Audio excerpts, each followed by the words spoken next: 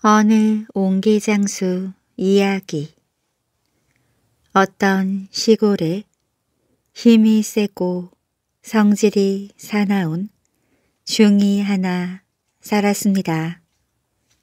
중이면 시주나 받으러 다니면서 부처님을 믿으라고 하면 될 것인데 괜히 힘자랑을 하자고 동네 사람을 귀찮게 하거나 자기 마음대로 안 되면 남의 집 대문이며 기둥을 발길로 차고 쓰러뜨리고는 하였습니다.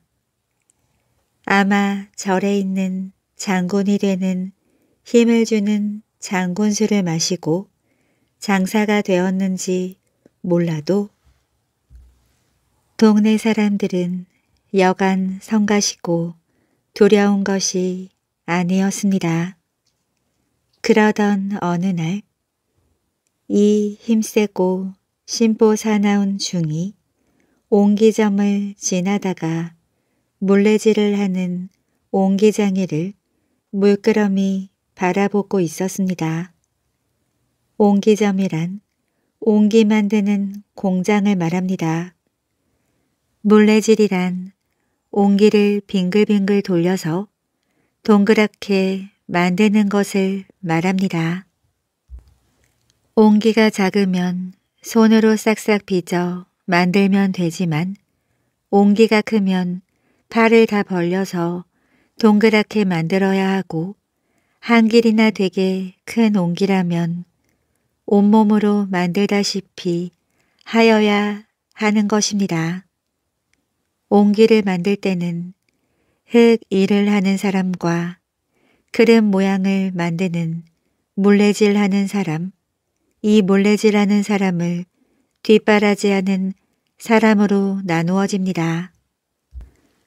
먼저 흙일하는 사람을 생질꾼이라 하고 뒷바라지하는 사람을 뒷일꾼이라고 하며 물레질하는 사람은 가장 중요하기 때문에 대장이라고 합니다. 옹기장이들 사이에 흙 반죽 세해 물레질 일곱 해라는 말이 있을 정도로 대장이 되려면 참을성이 뛰어나고 고생도 많이 해야 하며 그래서 다들 어려워하고 무서워합니다. 힘과 요령도 있어야 하고 제조와 위험도 갖춰야 하는 것이 대장입니다. 그런데 이 힘세고 심보 사나운 중이 대장이 물레질하는 것을 보고 있더니 시큰둥하게 콧방귀를 뀌었습니다. 이것은 별것 아니라는 비웃음이 아니고 무엇이겠나요? 지금 만드는 옹기는 사람 키보다 더 큰 것이기에 대장이나 뒷일꾼이나 힘이 들어서 땀을 뻘뻘 흘리고 있는 상황이었는데 애쓴다는 말은커녕 흥 하며 콧방귀를 끼니 이것이 될 법이나 한 일인가요? 지금 대장은 가마 옹기 안에 들어가 있고 뒷 일꾼은 밖에서 일하고 한 사람은 물레질을 하고 있습니다. 그릇이 작으면 발로 몰래질하는 발판을 돌리지만 옹기가 워낙 크면 따로 사람이 돌려야 했습니다. 스님은 어찌하여 남은 죽어라고 일하는데 기분 나쁘게 흥하고 콧방귀를 날리시오? 가소로워라. 저런 것을 가지고 며칠 매달려서 낑낑대다니. 스님은 여전히 약을 올렸습니다. 그러자 대장이 화가 나서 말했어요. 스님은 구경만 하시니까 우리가 힘이 드는지 안 드는지 모르시는데 한번 이리 와서 물레질을 해보시렵니까? 그야 어렵지 않지. 어디 한번 가서 힘 좀 써볼까. 그러더니 소매를 걷고 나섰습니다. 대장은 중에게 밖에서 그릇을 돌리라고 하였어요. 중은 힘을 써서 그릇을 돌리려고 하였습니다만 꼼짝도 하지 아니하였습니다. 이상하다. 어찌하여 일이 돌지 아니할까? 이렇게 용을 쓰자 조금 돌아갔습니다. 하지만 이내 멈췄어요. 다시 한번 힘을 주었으나 조금 돌다가 멈추자 중은 손을 떼었습니다. 참으로 힘이 드는 것이구려. 내가 잘못했소. 이렇게 힘이 드는 줄 모르고. 여태까지 깔보았던 옹기장이에 대한 생각이 바뀌어서 우선 말씨부터 달라졌습니다. 스님 미안해할 것은 없소이다. 사람마다 다 전공이 다르니까요. 우리 보고 절에 가서 연불하라고 하면 하겠습니까? 불경을 보라면 까막눈이 보겠습니까? 이 더운 철에 장삼을 입으라면 입겠습니까? 어렵지요. 그런데 스님들은 그런 힘든 일을 하지 않습니까? 그러니 사람마다 할 일이 따로 있지요. 이 옹기일도 사실 우리 같은 사람이 날 때부터 요령 있고 힘이 있었겠습니까? 오래 하다 보니 이렇게 힘이 생긴 것이지요. 그러니 옹기장이는 옹기일이 힘들어도 하는 것이고 스님은 부처님 믿는 일이 힘들어도 하는 것이지요. 그러니 어찌 남이 힘들여 배운 일을 손쉽게 하리까? 이렇게 말하자 중은 큰 절을 하고 물러나면서 말했습니다. 내가 부처님을 섬기는 스님이 아니라 지금까지 개 돼지 같은 짓만 했소이다. 내 이제 심보도 고치고 힘자랑도 아니하고 마을 사람들에게 고분고분 대하리다. 그동안 신뢰한 것을 너그러이 봐주고 깨우쳐 주어서 고맙습니다. 그럼 잘들 계시오. 나무아미타불. 이렇게 합장하고 떠났습니다. 멀리 중이 사라지자 독 안에서 대장이 나오는데 온몸이 땀에 흠뻑 젖어 있었고 손바닥과 손가락이 아프다고 하였습니다. 왜 그랬을까요? 대장은 옹기그릇 안에서 중이 모르게 손바닥을 펴서 움직이지 않도록 버티고 있었기 때문입니다. 중은 이런 줄 모르고 떠났습니다. 하지만 아닌 게 아니라 힘이 세기는 세어서 하마터면 대장이 그릇 안에서 맴맴 맴돌 뻔 하였답니다. 두부 먹은 돼지 옛날에 어떤 사람이 길을 가다가 무척 시장하여서 길가의 주막집에 들어갔습니다. 막 들어서니까 주인 여자가 두부를 만들고 있었어요. 큰 자배기에서 막 건져낸 것이라 뜨끈뜨끈한 것이 먹음직스러웠습니다. 저 김나는 두부를 조간장 쳐서 먹었으면 참 좋겠다. 그런데 수중에 돈이 있어야지. 배는 고프고 에라 외상말이라도 해보자. 이렇게 생각하고 주인 여자에게 다가가서 말하였습니다. 여보시오, 주인 댁한테 내가 이야기 한마디 하겠소. 무슨 말씀이요? 어서 해보시오. 다른 것이 아니라 내가 배가 고파 죽겠으니 그 두부 한 모만 주시려우. 지금 돈은 없으나 외상으로 달아두면 다음에 꼭 갔다가 갚으리다. 그러니 한 몸만 주시오. 아니 돈이 없이 먹겠다는 것이오. 내가 댁을 언제 보았다고 외상으로 준다는 말이오. 허참 인심 한번 박하네. 우리 집이 여기서 멀지 않소. 저 건너 동네요. 꼭 갖다 드리리다. 안 된다면 안 되는 줄 아시오. 나도 비싼 돈 주고 만든 것이라 외상은 못하겠소. 이렇게 퉁명스럽게 말을 하고는 우물로 물을 길러 갔습니다. 이 사람이 너무 실망하여서 잠시 가만히 서 있노라니까 뒷마당에서 어미 돼지가 새끼 옛일곱 마리를 데리고 마당으로 나왔습니다. 어미 돼지가 마치 여기 맛있는 게 있구나. 이리 오너라. 우리 주려고 만든 두부인가 보다.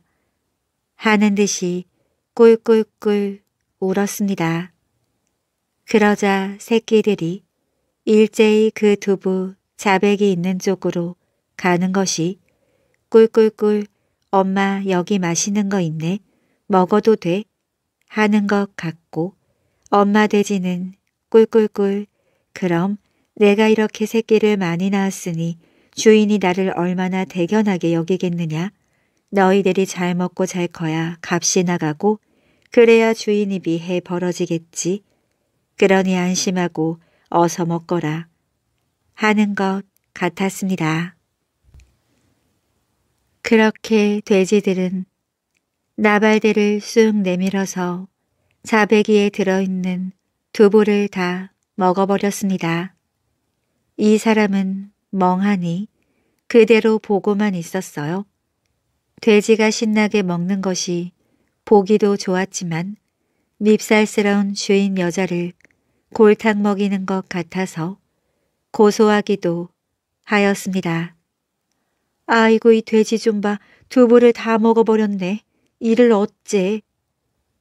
어느새 물을 길어온 주인 여자가 허둥지둥 물동이를 내려놓으면서 이 사람을 보고 잔뜩 볼멘 소리로 말하였습니다.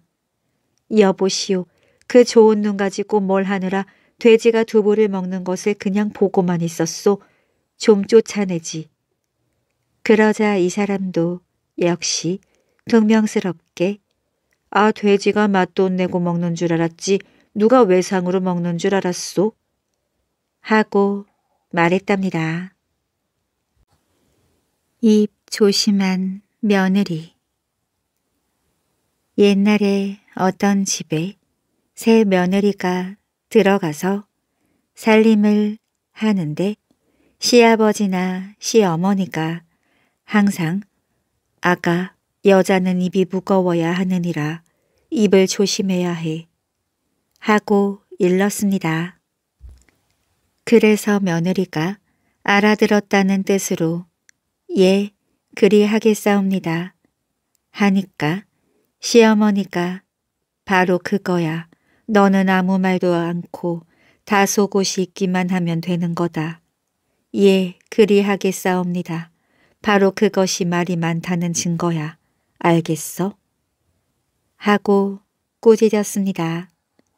그래서 며느리는 아무 말도 하지 않고 잠자코 있기로 하였어요. 입이 있더라도 벙어리가 되어서 시집살이를 잘 하라는 것이었습니다. 그런데 며느리가 물을 길어오다 보니까 부엌에서 불이 난 것입니다. 그래서 며느리는 시아버지와 시어머니에게 달려가서 불이야 소리를 내는 대신 손을 들어 불이 하늘로 타오르는 신용을 하였습니다. 뭐야? 뭐가 하늘로 올라가? 시아버지가 답답해서 이렇게 물어도 여전히 손을 떨면서 불이 하늘로 올라가는 신용만 하였습니다. 뭐야? 굴뚝이 막혀서 연기가 안 올라가? 며느리는 아니라고 고개를 흔들면서 아까보다 더 세차게 손을 들어 올렸습니다. 시아버지와 시어머니가 여전히 무슨 말인지 몰라 답답해할 때 이미 부엌에서 불길은 다른 데로 번져서 난리가 났습니다. 아이고 이 멍청아 불이 났으면 불이라고 할 일이지 그리 손짓만 하면 어찌 되냐. 이렇게 답답한 며느리를 나무라면서 시아버지는 달려가서 불을 껐습니다. 그날 저녁 며느리는 모든 식구들한테서 바보라고 핀잔을 받았어요. 아이고 이 사람아 불이 났을 때는 그 좋은 입 가지고 불이야 소리도 못하나? 이 다음에 불을 보거든 즉시 불이야 하고 소리 지르란 말이야. 이렇게 남편에게도 주의를 받았습니다. 그날 밤 불 끄느라고 한바탕 소동을 벌여 피곤한 가족들이 일찍 잠자리에 들었을 때 남산 봉우리에서 봉합불이 올랐습니다. 봉합불이란 나라의 변방 국경에서 적이 쳐들어 오거나 어려운 일이 있을 때 낮에는 연기를 피우고 밤에는 불을 피워서 서울로 위급한 것을 알리는 통신 방법입니다. 밤이라 봉합불을 피워서 연락하고 있는 것인데 이 봉합불을 새 며느리가 본 것입니다. 저기에 불이 났구나. 알려야지. 불을 보면 참지 말고 즉시 소리 지르라고 오늘 하루 내내 주의를 받았으니 즉시 알려야지. 만약에 이 불도 안 알리면 나는 정말 쫓겨날지도 몰라. 이렇게 판단한 새 며느리는 한껏 소리를 질렀습니다. 그러자 잠이 곤이 들었던 온 식구가 벌떡 일어나서 제각기 소리쳤습니다. 뭐 불? 또 불? 어디? 어디가 불이야? 꺼진 불도 다시 보라고 했지 않아? 아까 불을 다 끈 게 아닌 거 아니야? 그러나 저러나 오늘은 우리 집에 웬 불이 두 번씩이나 나 그래? 어디에 불이 났어? 이렇게 식구들이 놀라서 야단법석인데 새 며느리는 태연하게 저 멀리 있는 남산을 손으로 가리키면서 천천히 말했습니다. 저기 남산에 불이 났잖아요. 아이고 저것은 봉합불이야 봉합불. 시아버지가 이렇게 말하자 며느리는 셀쭉하면서 이렇게 말했습니다. 봉합불은 불이 아닌가요? 불만 보면 불이야 소리치라고 했지 않으셨어요? 아까 낮에 그렇게 저를 혼내 놓으시고는 이제 와서 딴 말을 하십니까? 이렇게 되니까 며느리 때문에 두 번이나 놀란 온 가족은 더 말을 못했답니다. 반대로 하는 아들 옛날 어느 마을에 아버지와 아들이 살고 있었습니다. 아버지는 부지런하고 정직해서 마을 사람들이 좋아했습니다. 하지만 아들은 말을 안 듣기로 유명해서 청개구리라는 별명을 갖게 되었어요. 이것을 하라면 저것을 하고 저것을 하라면 이것을 하는 등 무엇이든 반대로만 했습니다. 무엇 하나 남부러울 것이 없는 아버지는 이런 아들 때문에 늘 걱정이었어요. 어느 여름날 며칠째 하늘에 구멍이라도 난 듯 비가 퍼붓더니 홍수가 났습니다. 아버지가 물을 기르러 가는 아들에게 말했어요. 강물은 냄새가 나니까 어렵더라도 산속에 있는 샘물을 길어오너라. 아들이 대답했습니다. 아니에요. 전 강물이 더 좋아요. 아들은 아버지의 말을 듣지 않고 기어이 냄새나는 강물을 길어왔습니다. 아버지는 반대로만 하는 아들 때문에 언제나 속이 상했어요. 도대체 어떻게 해야 저 아이가 내 말을 들을까? 아버지는 아들을 바라보며 곰곰이 생각에 잠겼습니다. 마침내 아버지는 좋은 방법을 생각해 냈습니다. 얘야, 내가 지금 아주 뜨거운 물이 먹고 싶은데 가져올래? 그러면 아들은 얼른 시원한 물을 가져왔습니다. 아버지는 흐뭇하게 웃으며 시원한 물을 마셨어요. 사실 아버지는 시원한 물이 마시고 싶었습니다. 그때부터 아버지는 뜨거운 물이 마시고 싶으면 차가운 물을 가져오라 하고 샘물이 마시고 싶으면 강물을 길어오라고 했습니다. 무엇이든 반대로 하는 아들에게 제대로 된 일을 시키려면 그 방법밖에 없었습니다. 오늘은 고기가 먹고 싶으니 고기를 가져오너라. 아버지가 채소가 먹고 싶어서 이렇게 말하면 아들은 금방 채소를 가져왔습니다. 아들 때문에 고민하던 아버지는 이런 꾀를 생각한 뒤로는 웃음을 띠며 지냈어요. 그러던 어느 날이었습니다.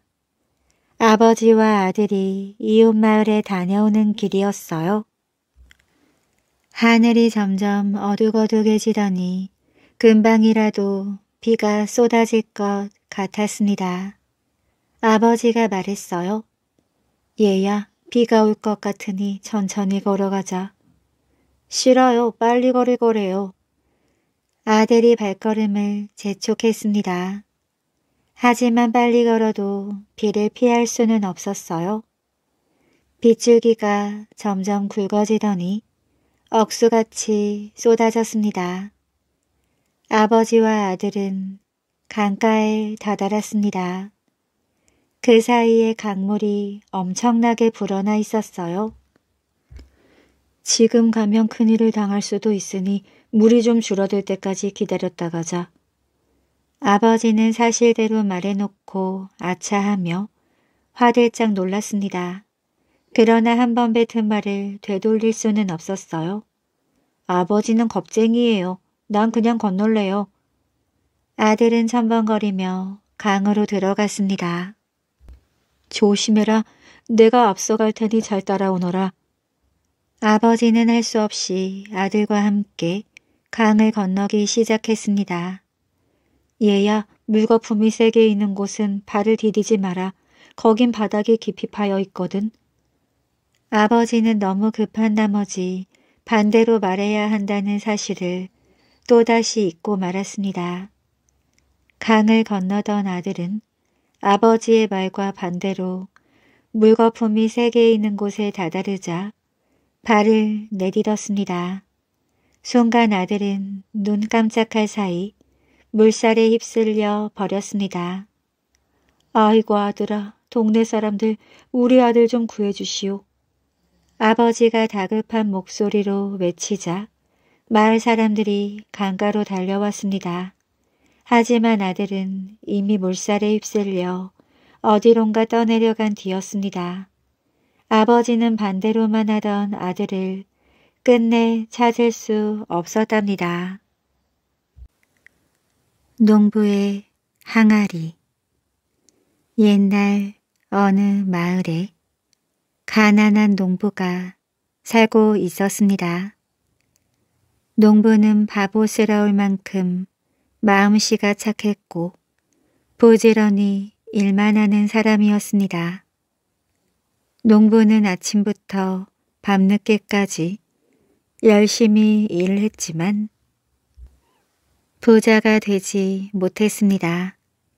사람들은 그런 농부에게 위로의 말을 했습니다. 언젠가는 좋은 때가 올 테니 실망하지 말고 꿋꿋하게 살게. 농부는 더욱 성실하게 일했고 마침내 부자 영감이 내놓은 거친 땅을 조금 사게 되었습니다. 이제 내 땅을 갖게 되었구나. 부자 영감에게서 산 땅에는 돌멩이가 발에 차일 만큼 엄청나게 많았지만 농부는 기쁜 마음으로 일했습니다. 아무리 주워 날라도 계속 돌멩이가 나오네. 농부는 새벽부터 날이 저물어 깜깜해질 때까지 돌멩이를 골라내고 또 골라냈습니다. 그날도 농부는 밭에서 땅을 파고 있었어요. 그런데 괭이 날에 무언가 걸리는 느낌이 들었습니다. 농부는 이상하게 여기며 재빨리 흙을 파보았어요. 어? 이게 뭐지? 농부는 땅속에서 커다란 항아리를 발견하고 꺼냈습니다. 말짱한 항아리인데 왜 여기에 묻혀 있을까? 집에 가져가서 써야지. 농부는 항아리 안에 괭이를 넣고 끙끙거리며 집으로 들고 왔어요. 이튿날 아침이 되었습니다. 잘 잤다. 이제 또 일하러 가야지.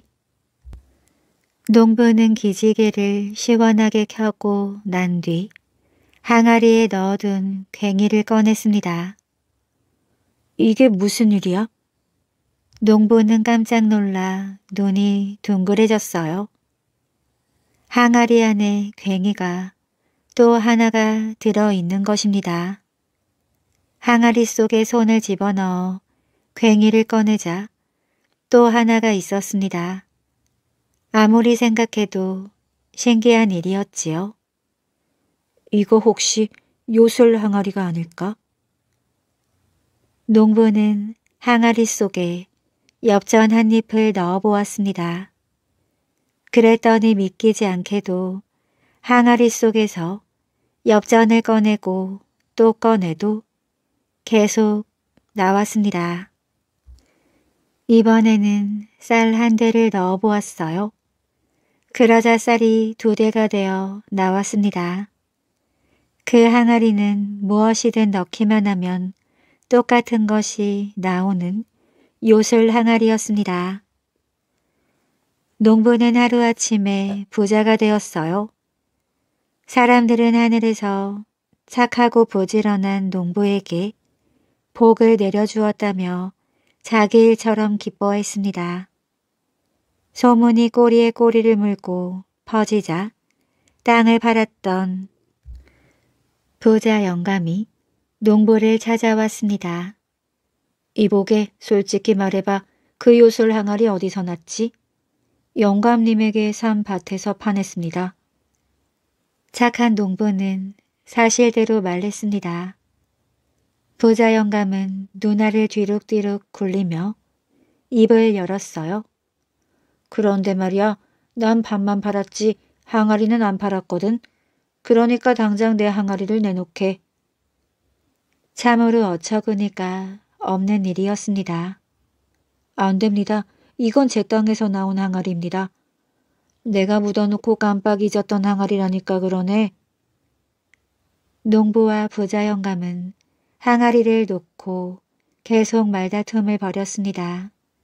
싸움이 끝날 기미가 보이지 않자 두 사람은 할 수 없이 원님 앞으로 갔습니다. 그런데 원님 또한 부자 영감에 버금갈 만큼 욕심이 많은 사람이었어요. 이야기를 들은 원님은 그 항아리가 탐났습니다. 농부는 분명히 영감에게 밥만 샀지 항아리를 사지는 않았다. 또한 땅을 판 영감은 이 항아리가 자기 것이라고 하지만 묻는 것을 본 사람이 없으니 믿을 수가 없구나. 어쨌든 반가름이 날 때까지 이 항아리는 내가 보관하겠다. 원님은 핑계를 대며 슬그머니 항아리를 가로챘습니다. 아니 그게 아니라 농부와 부자 영감은 원님의 뜻밖의 말에 당황했습니다. 아니긴 뭐가 아니야. 나중에 결정 나면 그때 보자고. 원님은 부하들을 시켜 요술 항아리를 자기 집으로 가지고 갔습니다. 두 사람은 발을 동동 구르다가 할 수 없이 집으로 돌아갔습니다. 집에 온 원님은 요술 항아리를 어루만졌습니다. 이게 웬 복덩이야? 우선 뭘 넣으면 좋을까? 원님은 잠깐 대청마루에 요술 항아리를 놓고 갔습니다. 그때 밖에 나갔다가 집으로 돌아온 원님의 아버지가 요술 항아리를 보았습니다. 이게 무슨 항아리지? 원님의 아버지는 항아리를 만져보며 고개를 갸우뚱거렸어요. 그러고는 항아리 속이 궁금해서 들여다 보았습니다. 아이쿠, 머리를 깊숙이 넣은 원님의 아버지는 그만 항아리 속에 빠지고 말았습니다. 아이고 얘들아 나 좀 꺼내다오. 원님의 아버지가 고래고래 소리를 질렀어요. 원님이 놀라서 허둥지둥 뛰어나왔지요. 아니 아버지. 원님은 낑낑거리며 아버지를 끌어냈습니다. 어서 꺼내라니까 뭐하냐. 항아리 속에는 또 다른 원님의 아버지가 있었습니다. 세상에 어떻게 이런 일이. 원님은 눈이 휘둥그레지더니 너무 놀라 그 자리에 얼어붙고 말았습니다. 빨리 꺼내주지 않고 뭐하냐? 항아리 속에 있는 아버지가 버럭 화를 냈어요. 하지만 아버지를 꺼내면 항아리 속에 또 아버지가 있었습니다. 어느새 원님의 아버지는 열명이나 되었어요. 그런데도 항아리 속에는 아버지가 또 있었습니다. 도대체 누가 진짜 우리 아버지세요? 열 명이 넘는 원님의 아버지가 서로 자기가 진짜 아버지라며 집안이 떠나갈 듯 떠들썩하게 싸웠습니다. 욕심쟁이 원님은 항아리를 집으로 가져온 것을 땅을 치며 후회했답니다. 한 푼, 두 푼. 옛날 한 정승이 있었습니다. 하루는 이 정승이 하인을 불러서 귀 떨어진 동전 한 잎을 주면서 이 엽전을 가지고 대장간에 가서 떨어진 귀퉁이를 땜질하여 오너라 하고 명령하였습니다. 하인은 동전을 받아가지고 대장간에 가서 한참 있다가 돌아와서 말했습니다. 이 귀 떨어진 엽전을 떼워서 제대로 동전구실을 하게 하려면 공임이 서푼이라고 합니다. 이 돈은 한 푼이고 공임이 서푼이면 배보다 배꼽이 더 커서 수지가 맞지 않기 때문에 그냥 가지고 돌아왔습니다. 그러자 정승이 말하였습니다. 하기는 내 말이 맞다. 맞고 말고 한 푼 성한 돈을 만들자고 공임이 서푼 든다면 결국 두 푼이 미찌는 것이니 당연하지. 그런데 생각해 보아라. 서푼을 주고서라도 이 돈을 떼워서 재구실을 하게 한다면 작게는 내 돈 한 푼을 살리는 것이고 그게는 우리나라 전체의 돈이 한 푼 늘어나는 것이다. 만약에 이것을 귀퉁이가 떨어졌다고 버린다면 결국 나라 돈 한 푼이 사라지는 것이니까 국가적으로는 한 푼 손해가 아니냐. 그리고 내가 서푼을 대장간에 주는 것은 성한 돈이니까 돈이라는 것이 돌고 도는 것이므로 내 손은 떠났지만 나라 안에서는 중나는 돈이 아니다. 그러니 이 돈을 수리하면 나로서는 셋에서 하나 빼서 둘이 남으니 결국 두 푼 손해가 되지만 나라 전체로 보면 한 푼 이득이 되는 것이니라. 그리고 나 같은 정승은 돈이 좀 있으니까 대장장이에게 일거리도 줄 겸 무슨 핑계를 대서라도 세상에 돈을 풀어놓아야 하느니라. 그러니 어서 가서 돈을 떼워 오너라. 이렇게 말하자 하인은 감탄하였습니다. 잘 알겠습니다. 서푼을 주더라도 기어이 한 푼을 떼어 오겠습니다. 하고 발걸음도 가볍게 걸어갔습니다. 이러한 이야기가 어느 동네 부잣집에도 있었습니다.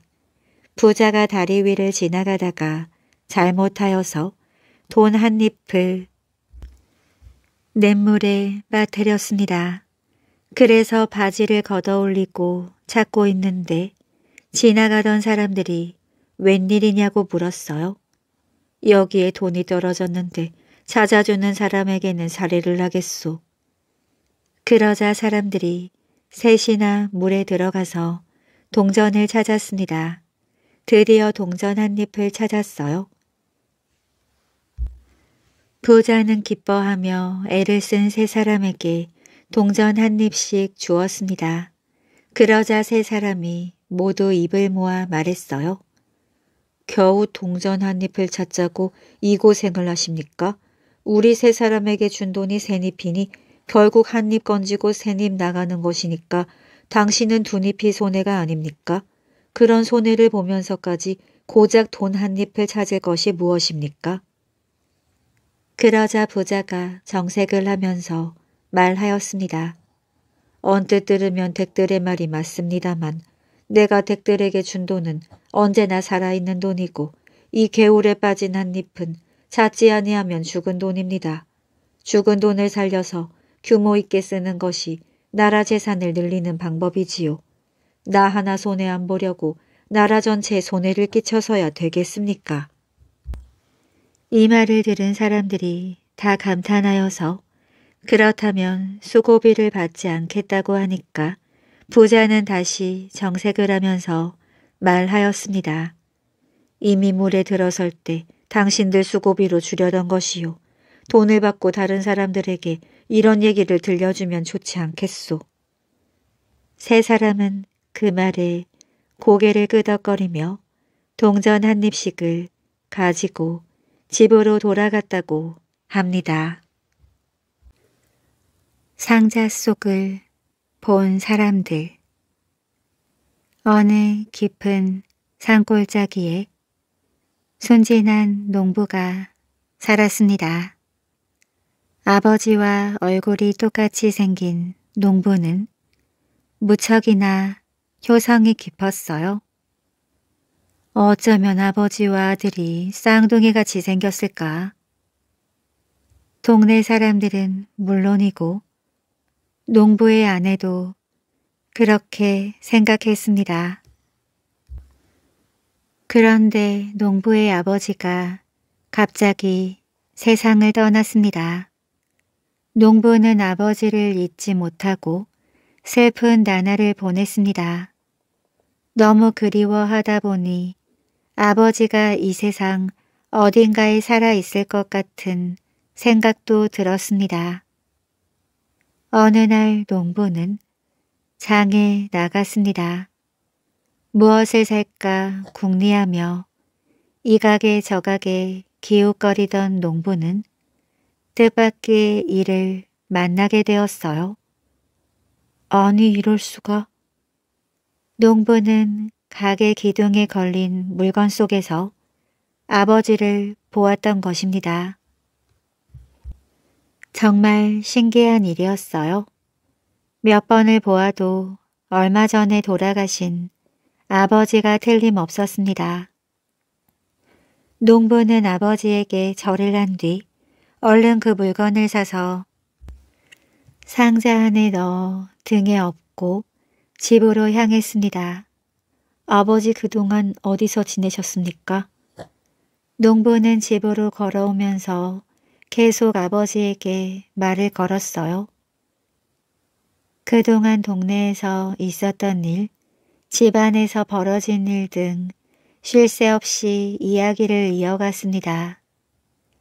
아버지는 대답하지 않았지만 농부는 그래도 즐거웠습니다. 집에 온 농부는 상자를 옆방에 잘 모셔두었어요. 그리고 밤이 되면 옆방으로 가서 낮에 있었던 일을 자세히 말했습니다. 농부는 그 물건 이야기를 아내에게 하지 않고 그냥 상자 옆에서 잠을 잤습니다. 농부는 그날 있었던 일을 아버지에게 모두 들려주고 자기 전에 꼭 인사를 했어요. 아버지, 안녕히 주무십시오. 아침에 일어나도 상자를 열고 들여다보며 인사했습니다. 아버지 안녕히 주무셨습니까? 며칠이 지났습니다.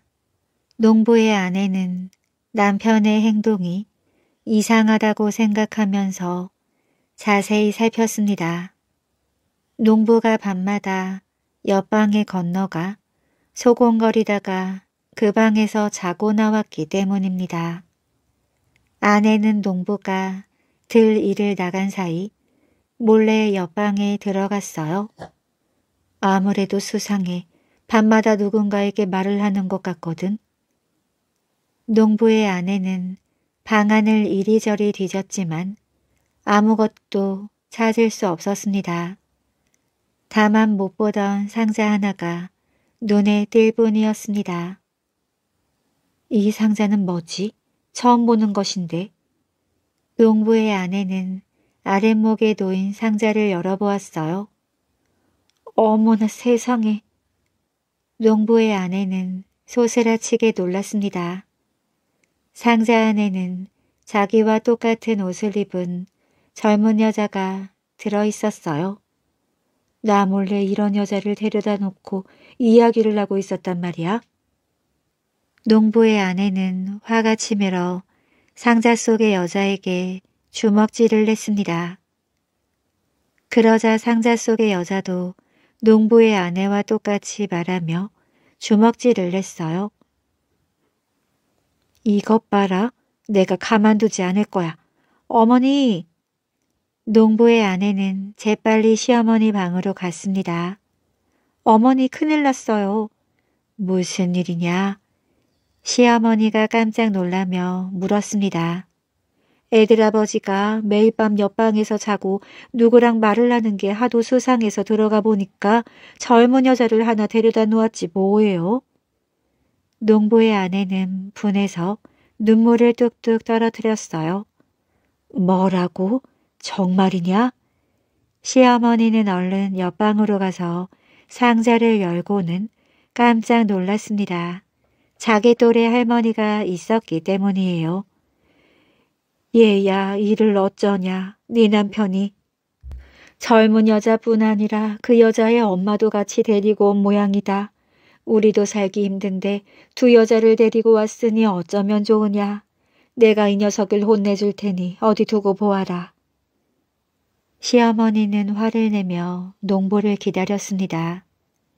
농부의 아내는 그동안 남편에게 속은 것이 분해서 소리내어 울었어요. 때마침 농부가 돌아왔습니다.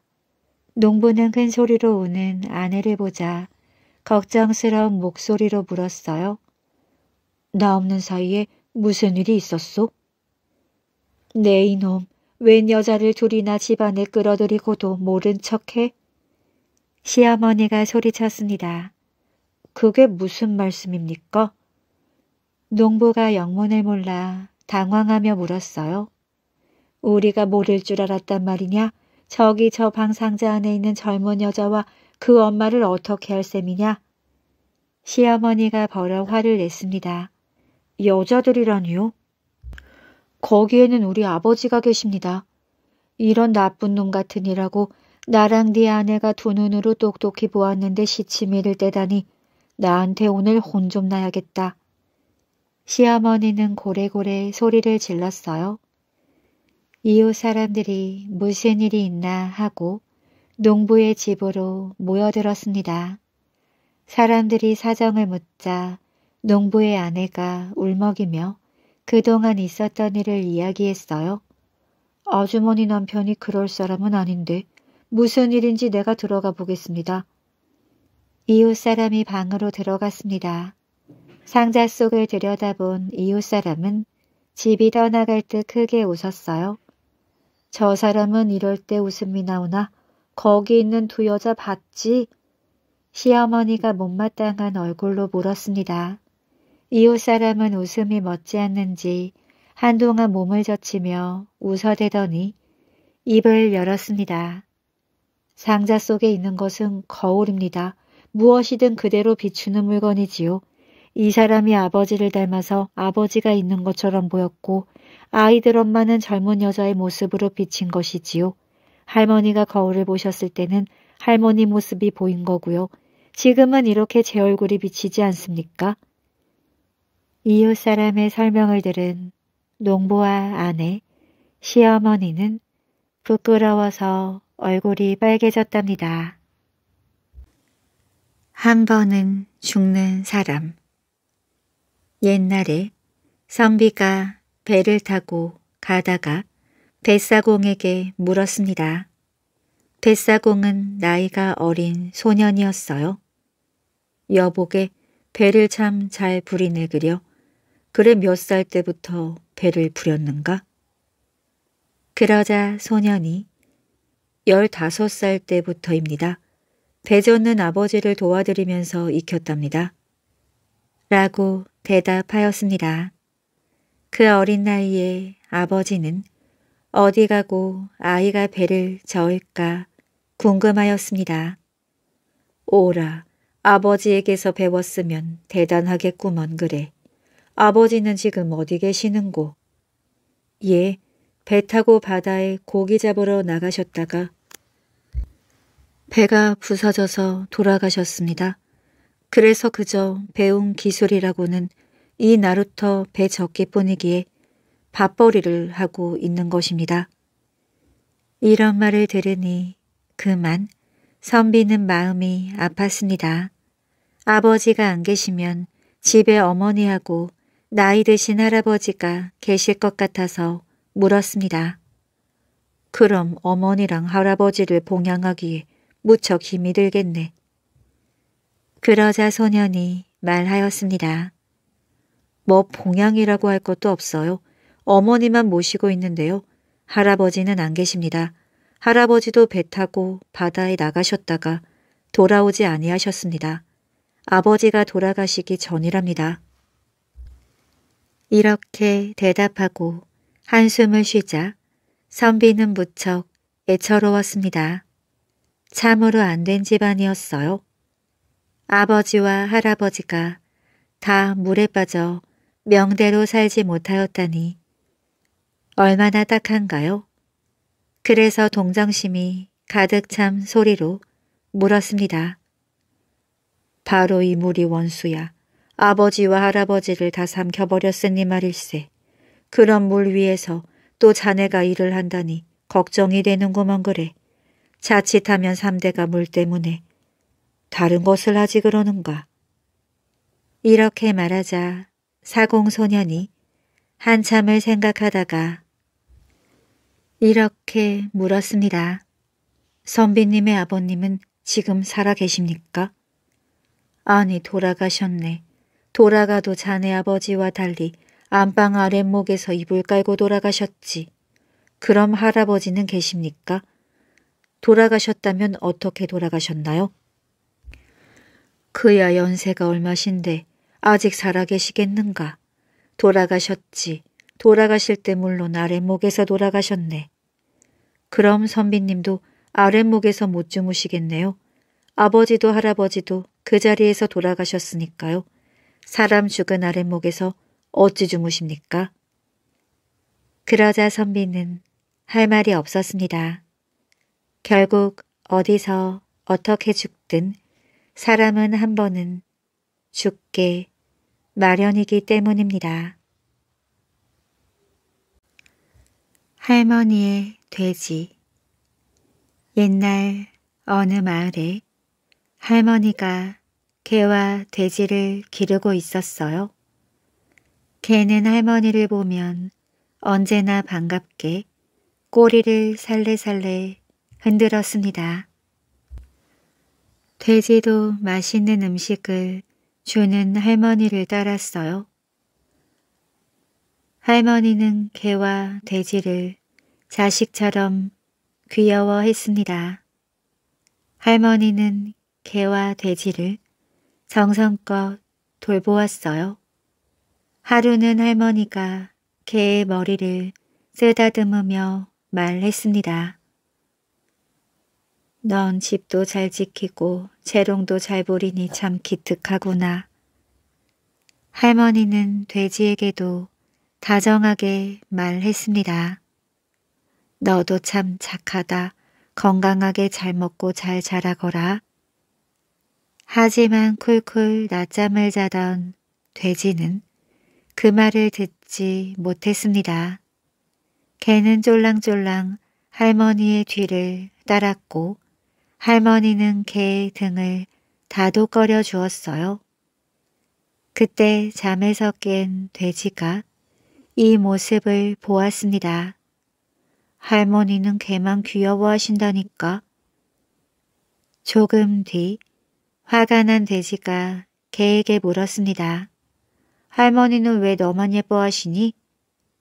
개가 비웃듯이 말했어요. 그것도 모르니?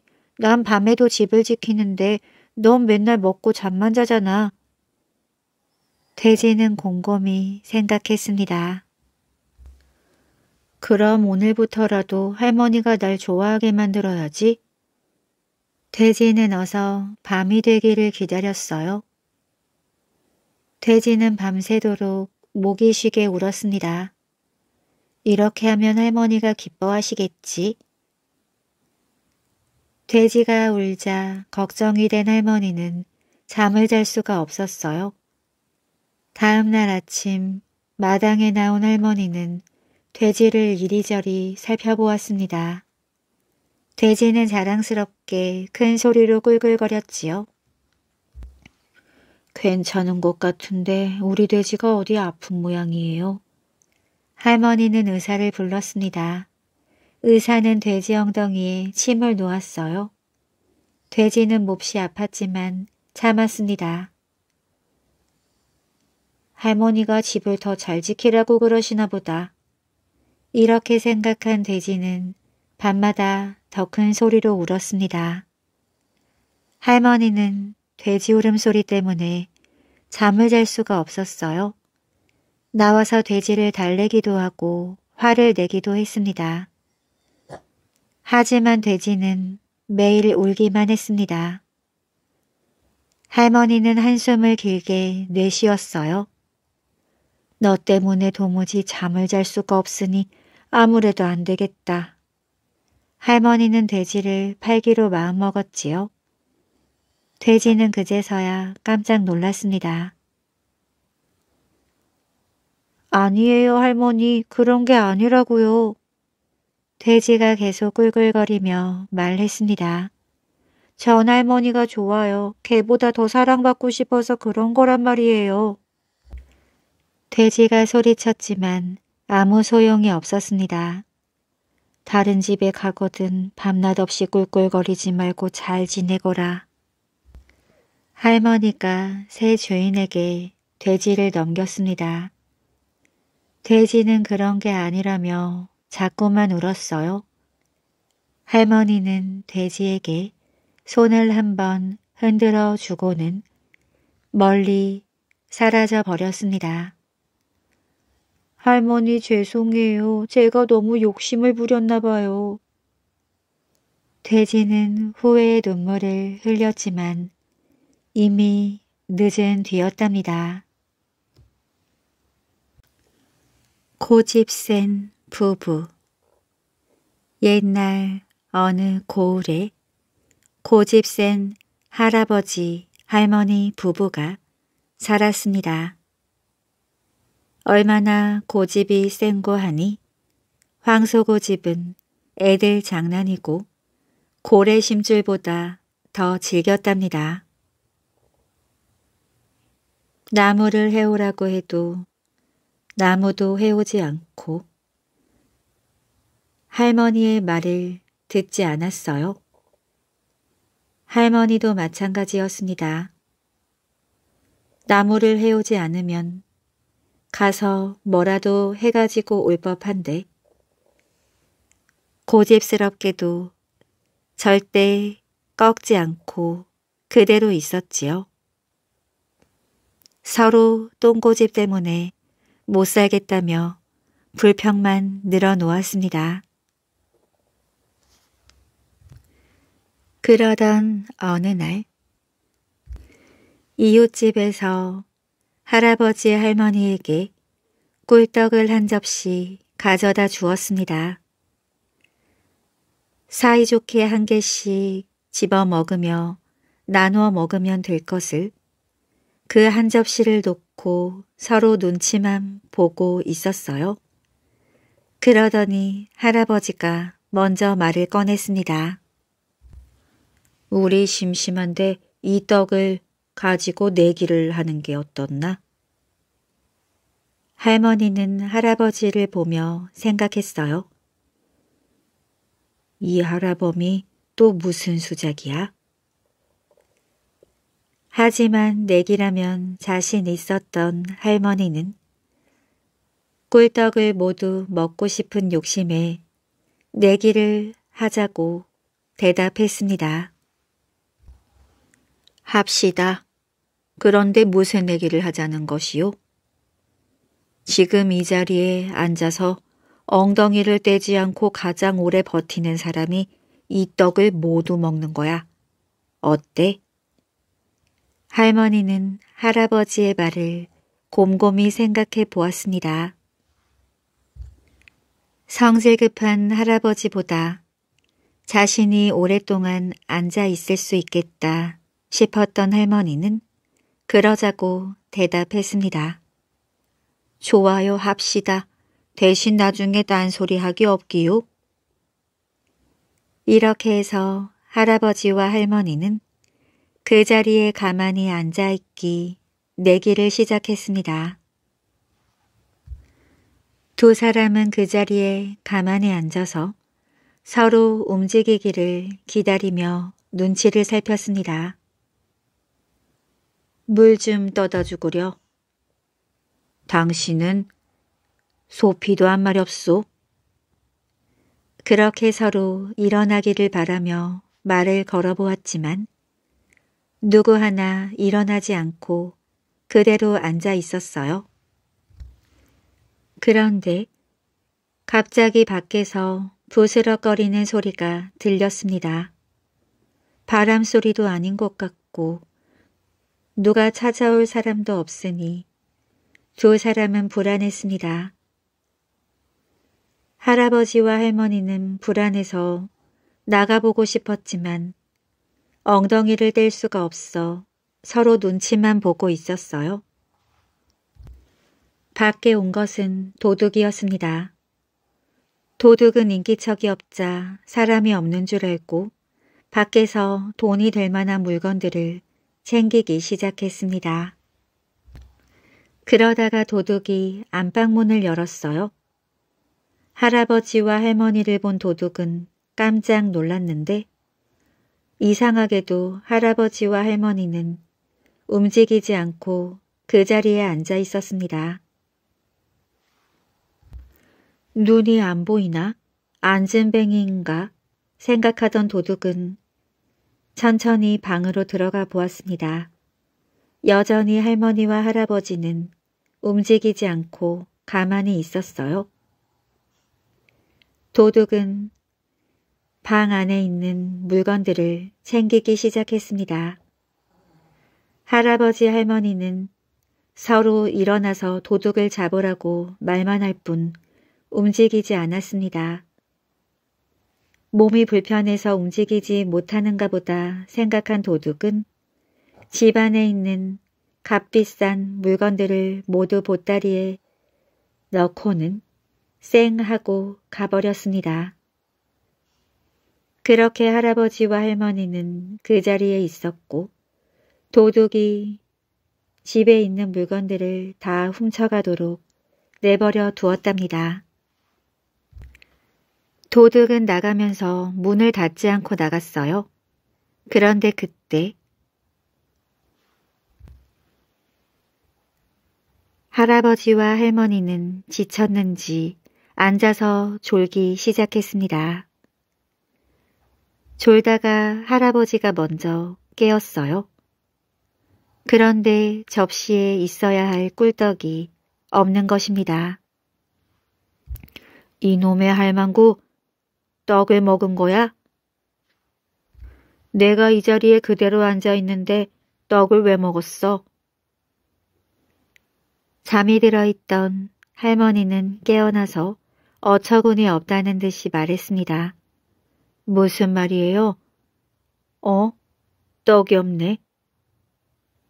이 떡을 누가 먹은 거야? 사실 그 떡은 쥐가 와서 모두 먹은 것이었답니다. 그렇게 할머니와 할아버지는 떡도 먹지 못하고 집안의 모든 살림살이는 도둑을 맞고 말았답니다. 아이로 생각한 인삼 옛날 황해도 개성 땅에 가난하게 살던 약장수 하나가 있었습니다. 약장수라지만 약장수 치고는 참으로 이상한 약장수였습니다. 이 사람은 도대체 무슨 뿌리인지는 몰라도 이상한 풀뿌리를 가지고 다니면서 파는 약장수였습니다. 약사시오, 이 약을 잡수시면 항우장사도 이길 수 있고 삼천갑자 동박사기보다도 오래오래 살 수 있습니다. 약사시오 약. 약장수는 이렇게 외치고 이상한 풀뿌리를 팔았습니다.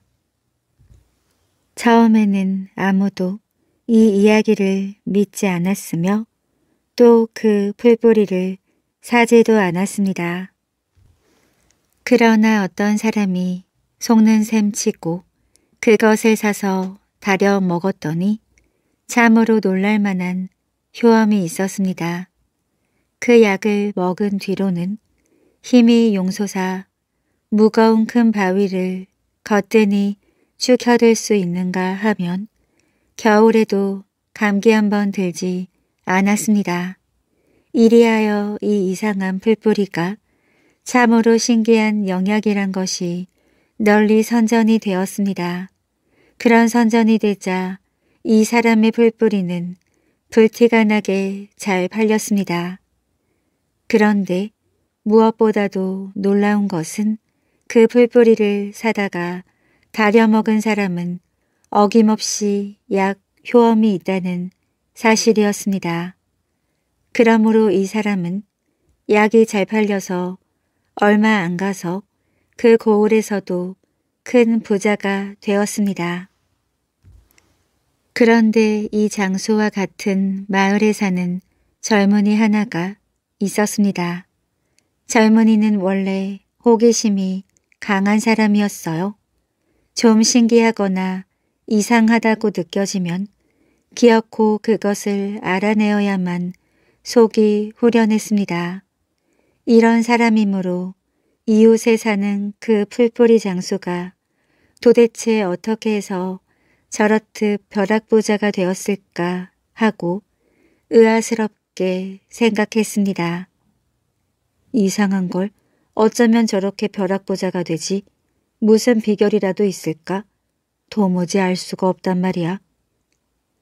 젊은이는 그 뒤로 풀뿌리 장수가 하는 일에 대해서 유심히 관찰하였습니다. 그런데 젊은이는 얼마 안 가서 이상한 일을 발견했습니다.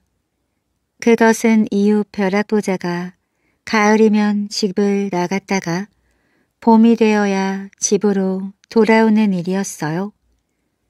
그동안에 집을 떠나서 무엇을 하고 오는지 도무지 알 수 없는 일이었습니다. 그런데 어느 해 봄이었어요.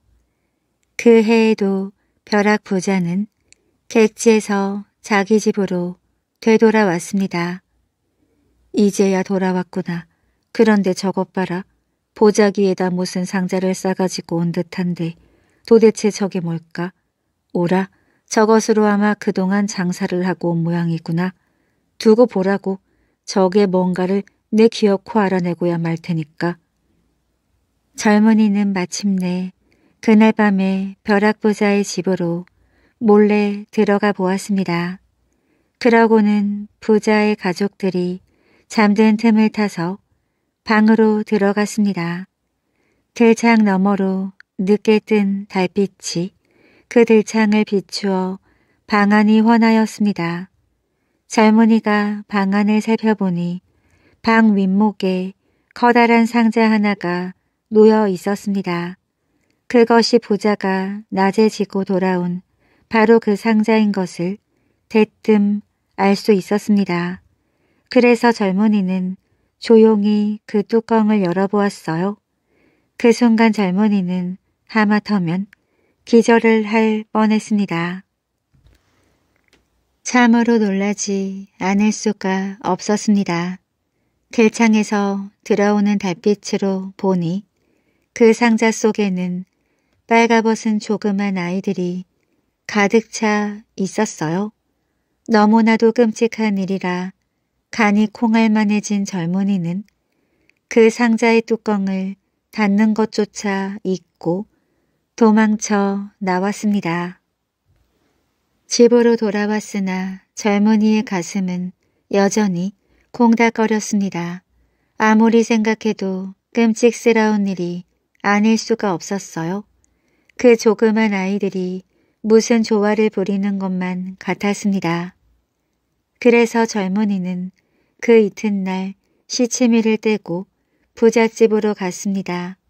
그러고는 풀 한 포기를 사가지고 집으로 돌아왔습니다. 젊은이는 집으로 돌아오기가 무섭게 그 풀을 물이 든 병에다 꽂아두었습니다. 이리하여 며칠이 지났어요. 그런데 이게 웬일인가요? 날이 갈수록 그것은 차츰차츰 꼬마 어린이로 바뀌는 것이었습니다.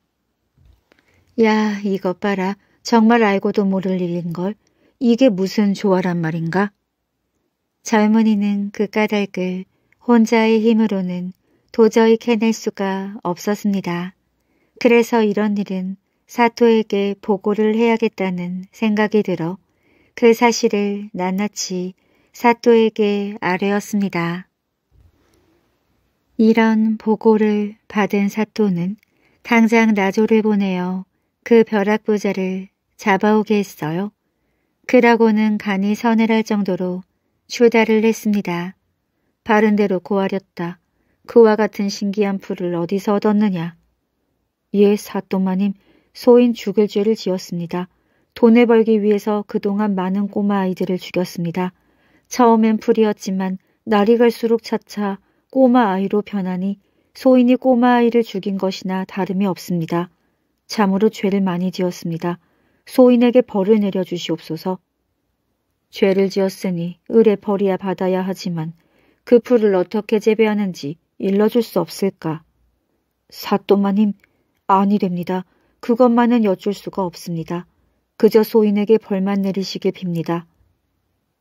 이 소리를 듣자 사토는 더욱 그것을 알아내려고 했습니다. 왜 이렇게도 말이 많을고 어서 그 재배법을 말하라 하지 않은가? 그것을 말하지 못할 이유가 무엇이란 말인가? 사또마님, 그건 아무래도 말씀드릴 수가 없습니다. 만약 소인이 그 방법을 말씀드리면 소인처럼 돈을 벌 욕심으로 또 나쁜 일을 저지르는 사람이 나오게 됩니다. 그로 인해 또 얼마나 귀여운 꼬마 아이들을 죽이게 될지 모르는 일 아닙니까? 그래서 그 방법은 도저히 말씀드릴 수가 없습니다. 하는 수 없이 사또는 법에 의하여 그 벼락보자를 사형에 처했습니다. 그러는 한편 벼락보자의 집안을 샅샅이 뒤져보게 했어요. 그 집안에는 별다른 것은 없었으나 여태 보지 못한 이상한 풀한 포기가 발견되었습니다.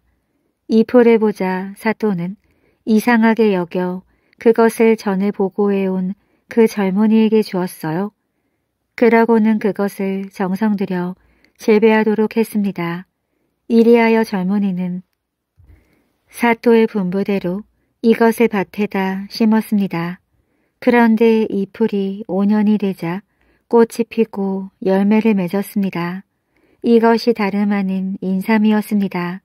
한편 이 풀을 인삼이라 부르게 된 것은 벼락보자 젊은이 사또 세 사람의 손으로 비로소 재배하게 되었다는 데서 유래되었다고 합니다. 즉 삼자를 셋으로 해석하여 이는 사람이니까 사람 셋으로 이름을 붙였다고 전해진답니다. 3년 사는 고개 옛날 어느 산골 마을에 3년 사는 고개라는 고개가 있었습니다. 이 고개에서 넘어지면 누구든지 3년밖에 살지 못한다고 해서 붙여진 이름입니다. 그래서 마을 사람들은 이 고개를 넘어갈 때면 늘 조심해서 다녔습니다. 어느 날 소를 발러 장에 갔다 오던 할아버지가 3년 고개를 넘고 있었어요. 할아버지는 행여라도 넘어질까봐 조심조심 걸어가고 있었습니다. 그런데 갑자기 할아버지 앞으로 토끼 한 마리가 불쑥 튀어나와 지나갔습니다. 할아버지는 깜짝 놀라 벌렁 낮아빠지고 말았어요. 아이고 이제 큰일 났구나. 나는 3년밖에 살 수 없게 되었어. 이 일을 어떻게 하면 좋단 말이냐. 할아버지는 땅바닥에 주저앉아 목 놓아 울었습니다. 두 눈이 부어오를 때까지 울고 또 울던 할아버지는 힘없이 집으로 돌아왔어요. 할머니가 풀이 죽어 있는 할아버지를 보고 걱정스럽게 물었습니다. 영감, 밖에서 무슨 일 있었어요? 할아버지는 힘이 없는 목소리로 대답했습니다. 내가 글쎄 3년 고개에서 넘어지고 말았어. 휴, 이제 나는 3년밖에 살지 못하니 이를 어쩌면 좋소. 그러고는 땅이 꺼지게 한숨을 내쉬었어요.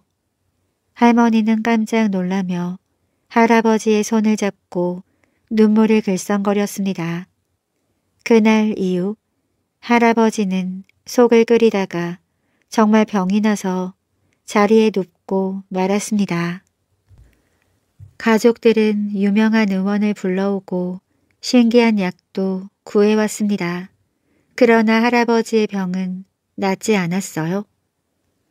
무엇을 한다 해도 난 3년밖에 못 살아. 머릿속에 3년밖에 살지 못한다는 생각이 가득 찬 할아버지는 만난 음식도 귀한 돈도 아무 소용이 없게 느껴졌습니다. 그러던 어느 날 할아버지가 옆집 소년을 만나게 되었습니다.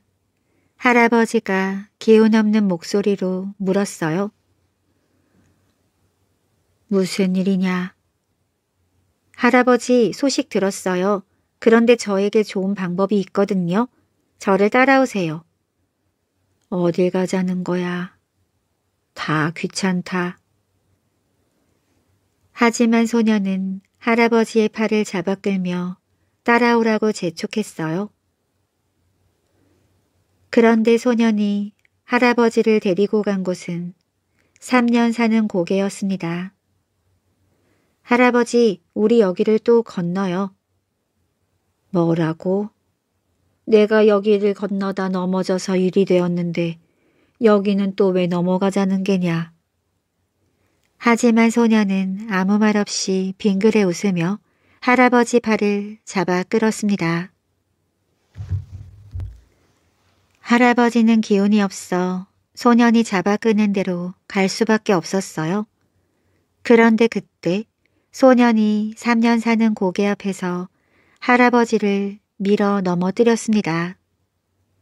할아버지는 깜짝 놀라 소년을 쳐다보며 물었어요. 이 녀석 뭐 하는 게냐? 왜 나를 밀어? 할아버지, 지금 3년 사는 고개에서 또 넘어지셨지요? 한 번 더 넘어지셨으니까 앞으로 3년을 더 사실 수 있을 거예요. 할아버지는 소년의 말이 그럴듯하게 느껴졌습니다. 그렇구나. 그럼 당장 가서 또 넘어져야겠다. 할아버지는 서둘러 자리에서 일어났습니다. 그러고는 3년 고개에 가서 넘어지고 또 넘어지고 계속 넘어졌답니다. 이제 나는 오래 살 거야. 앞으로 100년도 넘게 살겠네. 할아버지는 그렇게 심심할 때마다 삼년고개에 가서 계속 넘어졌답니다. 할아버지는 점점 힘이 세져서 100년, 1000년도 살 수 있을 것 같은 느낌이 들었어요. 그래서인지 할아버지는 그 후로도 오래오래 잘 살았답니다. 성냥팔이 소녀 눈보라가 몰아치는 어느 추운 저녁, 한 소녀가 거리를 걷고 있었습니다. 세찬 눈발을 피하려는 듯 집들의 벽 쪽으로 바짝 붙어서 말입니다. 모자도 쓰지 않은 머리엔 낡은 수건을 질끈 두르고 있었고 발에는 양말도 신지 않은 채 큼지막한 나막신을 신고 있었습니다. 아니 소녀가 신은 것은 신었다기보다는 걸쳤다고 표현하는 것이 맞을 정도로 커다란 나막신이었어요. 이 나막신은 돌아가신 어머니가 신던 것으로 오늘 아침 신발장 안에 곱게 넣어두었던 것을 찾아 먼지를 닦은 후에 신고 나온 것입니다. 소녀가 힘겹게 남학신을 끌며 걸음을 옮길 때마다 발 밑에서는 덜그럭덜그럭 요란한 소리가 났습니다. 어젯밤에도 소녀의 아버지는 술에 잔뜩 취해서 집으로 돌아왔습니다. 아버지는 몇 해 전 소녀의 어머니가 죽고 바로 작년 이맘때 소녀의 할머니까지 돌아가신 이후로 영 정신을 차리지 못했습니다. 입으로는 늘 일하러 나간다고 하면서 동네 술집에 가서 외상술을 마시고 밤이 늦어서야 돌아오곤 했던 것입니다. 그러면서도 소녀에게는 늘 큰 소리치곤 했습니다. 아무 걱정 말라니까 너한테는 이 아비가 있다. 하지만 여전히 술에 취하는 날이 매일처럼 이어졌어요. 그러는 동안 소녀의 집에는 추위를 이길 땔감한 조각, 배고픔을 잊을 빵 한 조각 남아있지 않았습니다. 오늘은 성냥이라도 팔아봐야겠어. 오늘 아침 소녀는 하얗게 김이 날 만큼 추운 방 안에서 한숨을 내쉬며 결심했습니다. 그리고는 동네 가게 아저씨에게 사정을 해서 성냥을 몇 통 외상으로 얻어 씩씩하게 길을 나선 것입니다. 하지만 씩씩했던 것은 불과 몇 시간뿐 저녁이 되면서 바람이 더욱 거세어지고 눈발이 날리자 소녀는 소리칠 기운도 더 걸을 기운도 남아있지 않았습니다. 저쪽 길로 한번 가보자. 소녀는 한 번도 가보지 않은 길 건너 부자 동네로 가려고 마음먹었습니다.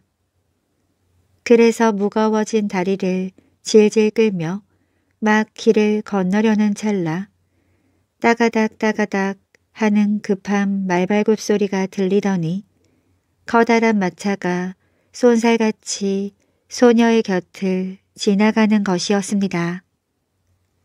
소녀는 외마디 비명을 지르며 재빨리 몸을 피했습니다. 그 바람에 소녀는 땅에 뒹굴고 신발 한쪽은 저만치 날아가 버리고 말았습니다. 큰일 날 뻔했어. 소녀는 안도의 한숨을 쉬었습니다. 그리고는 남학신 한쪽을 먼지 털어 신고 다른 쪽 남학신을 찾아 떨어진 곳으로 가보았어요. 하지만 남학신은 보이지 않았습니다. 어딘가 틈에 빠져 버렸는지 아무리 찾아도 보이지 않는 것이었어요. 하는 수 없이 소녀는 한쪽 발에만 남학신을 신고 절뚝거리며 가던 길을 계속 갔습니다. 얼마나 갔을까요?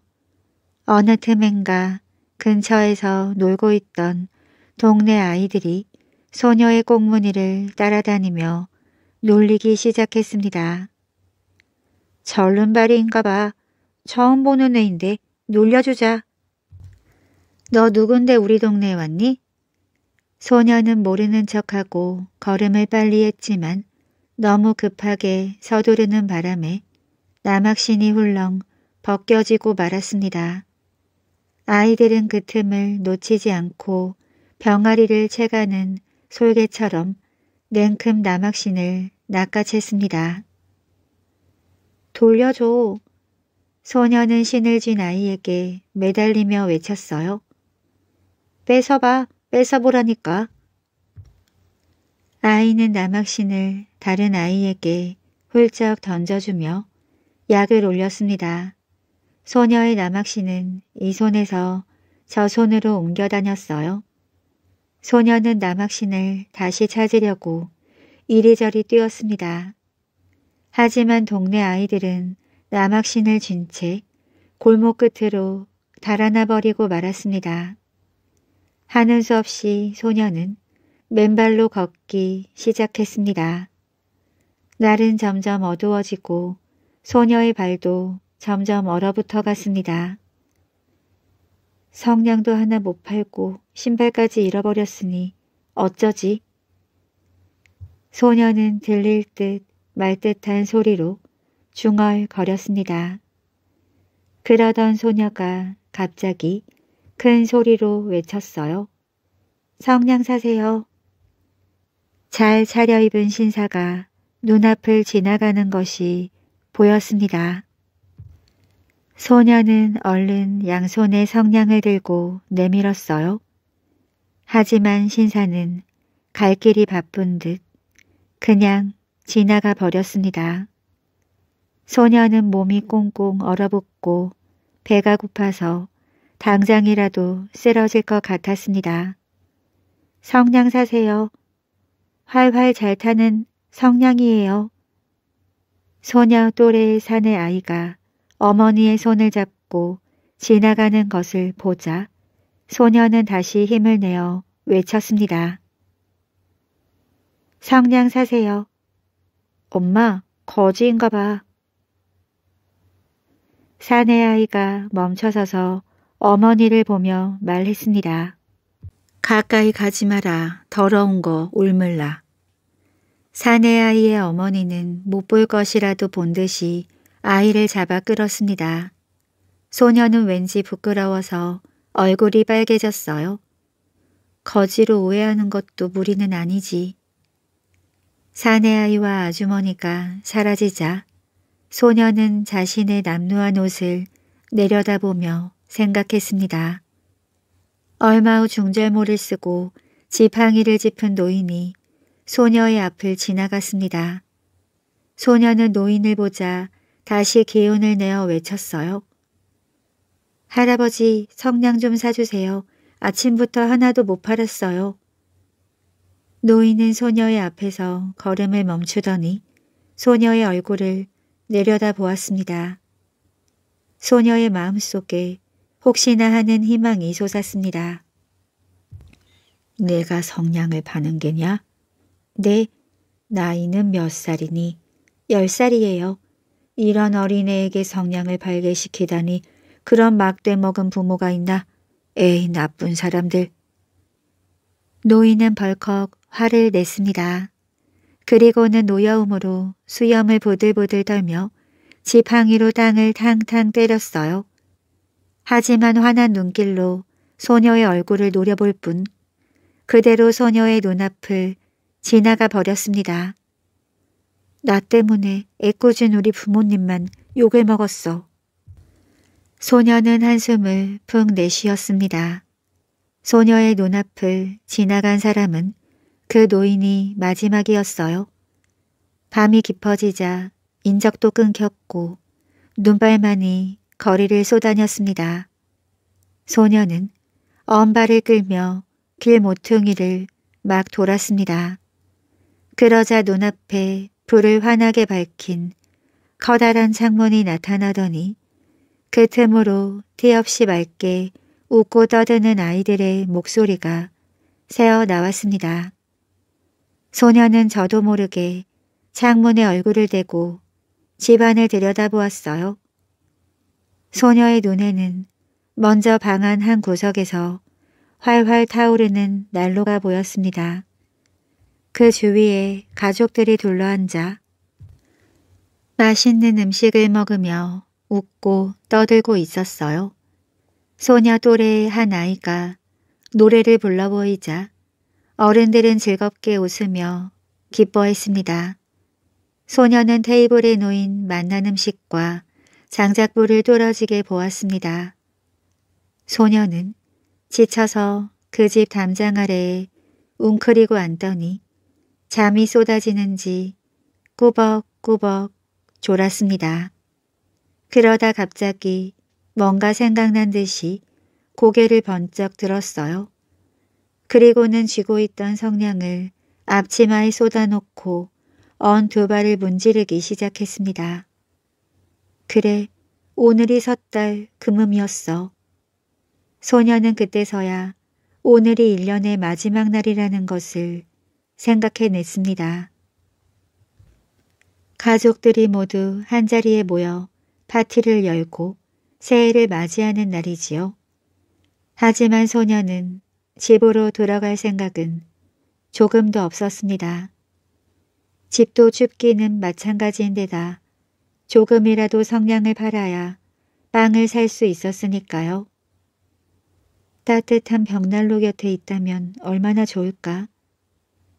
소녀는 여전히 졸린 듯 하품을 하며 생각했습니다. 성냥을 켜보자. 그러면 좀 따뜻해질 거야.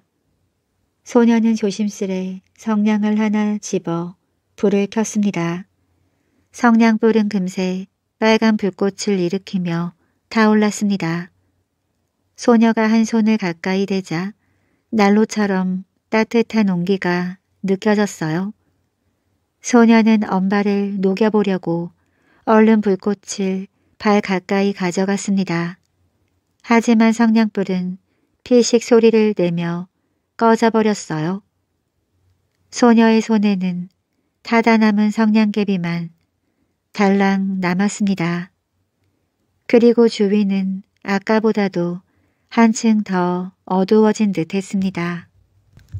어쩌나 성냥은 팔아야 하는 건데 하지만 몇 개만 더 켜면 몸이 녹을지도 몰라. 소녀는 성냥 하나를 또 켰습니다. 사방이 다시 환해지자 소녀의 얼굴도 밝아졌어요. 불빛은 소녀가 기대어 앉은 담장도 비추어 주었습니다.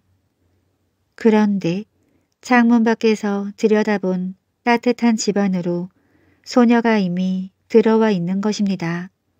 소녀는 하얀 식탁보가 깔린 식탁에 앉아 있었어요.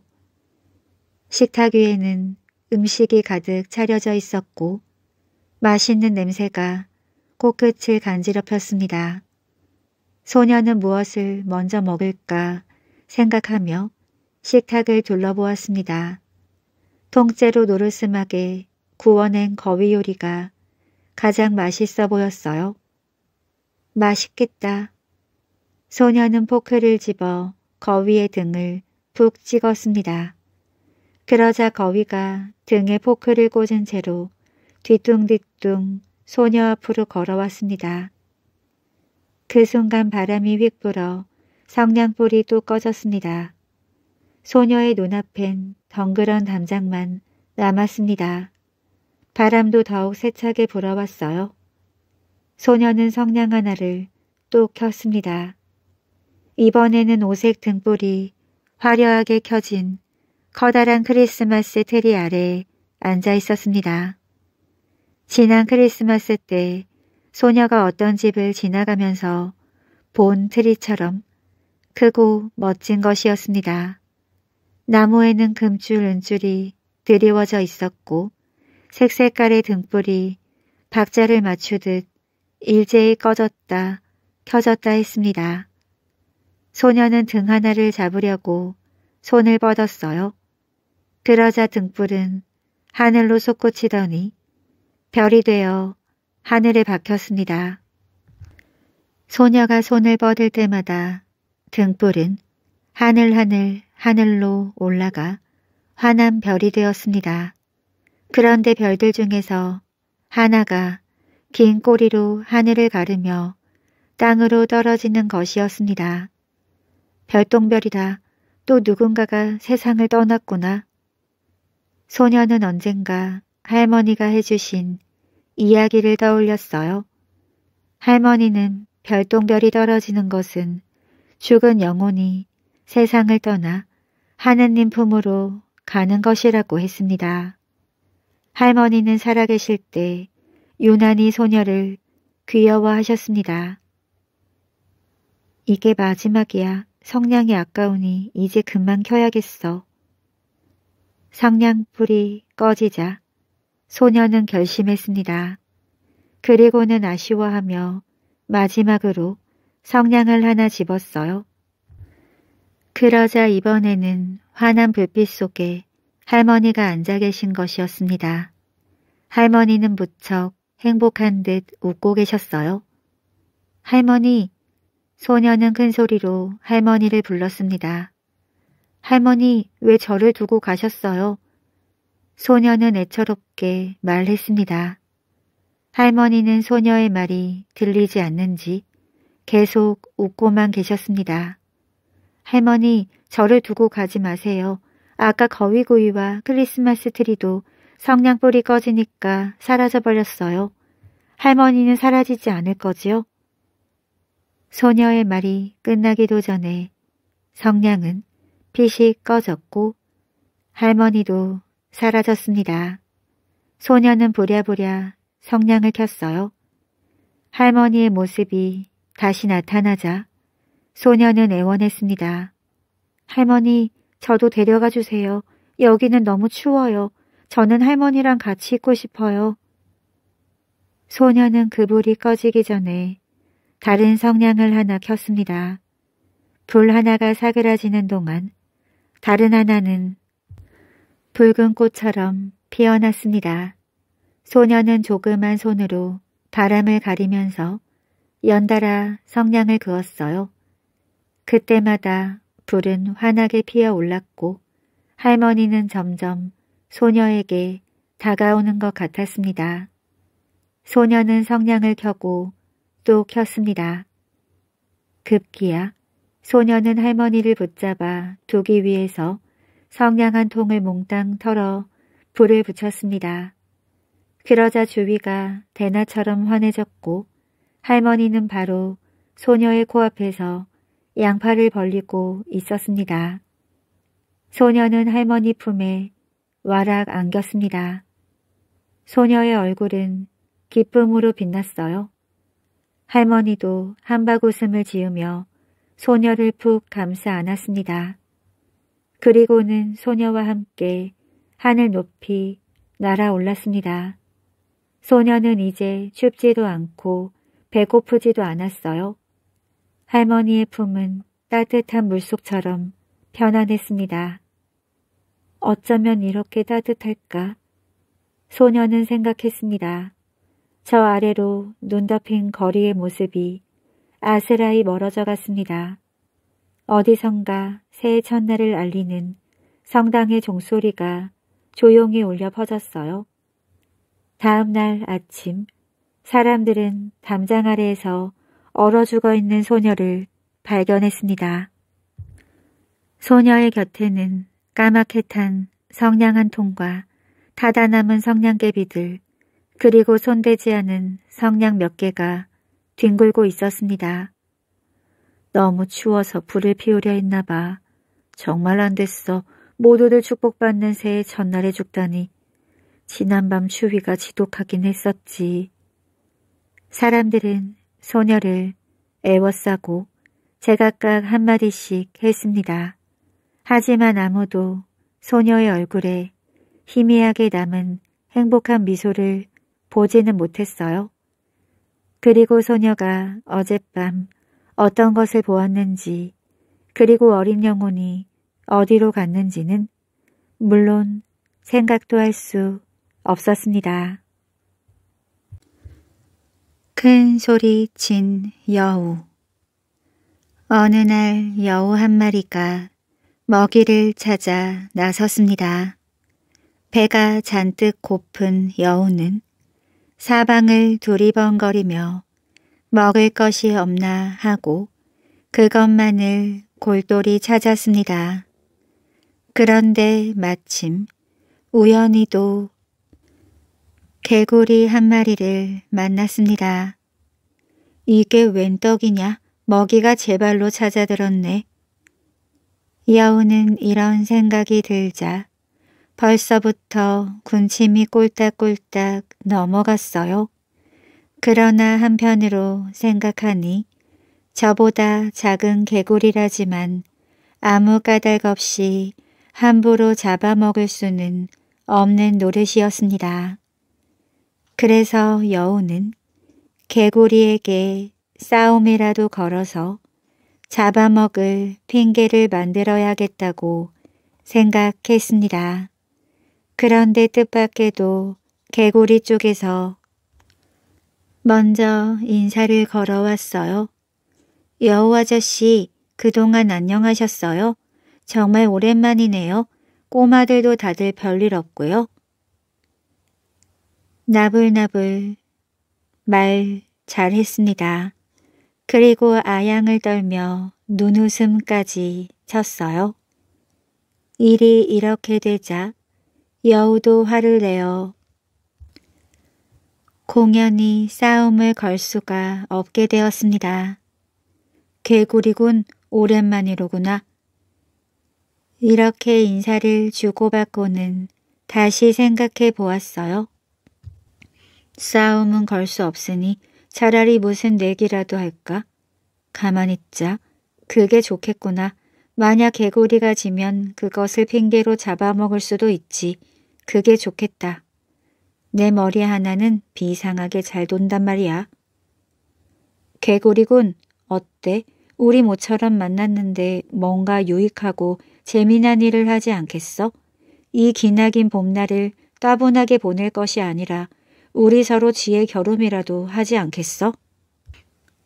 아저씨, 지혜 겨룸이요? 좋아요. 그게 좋겠어요. 하지만 그런 지혜 겨룸은 저하고는 안 될걸요? 뭐라고? 나도 자신 있단 말이야. 겨룸은 해봐야 알지 하지도 않고 흰소리부터 하는 게 아니야. 그럼 나부터 물어볼까? 그래도 좋겠니? 좋아요. 좋고 말고요. 어서 물어보셔요. 마침내 지혜 겨름이 시작되었습니다. 개구리군, 자네 그 등에 울퉁불퉁 보기 흉한 언덕이 많은데 어째서 그런 언덕이 생겼는지 그 까닭을 설명해 줄 수 없겠어? 예, 이 울퉁불퉁한 언덕 말인가요? 이것은 꽤 옛날 이야기로 되돌아가지만 부득이 이야기를 해야겠군요.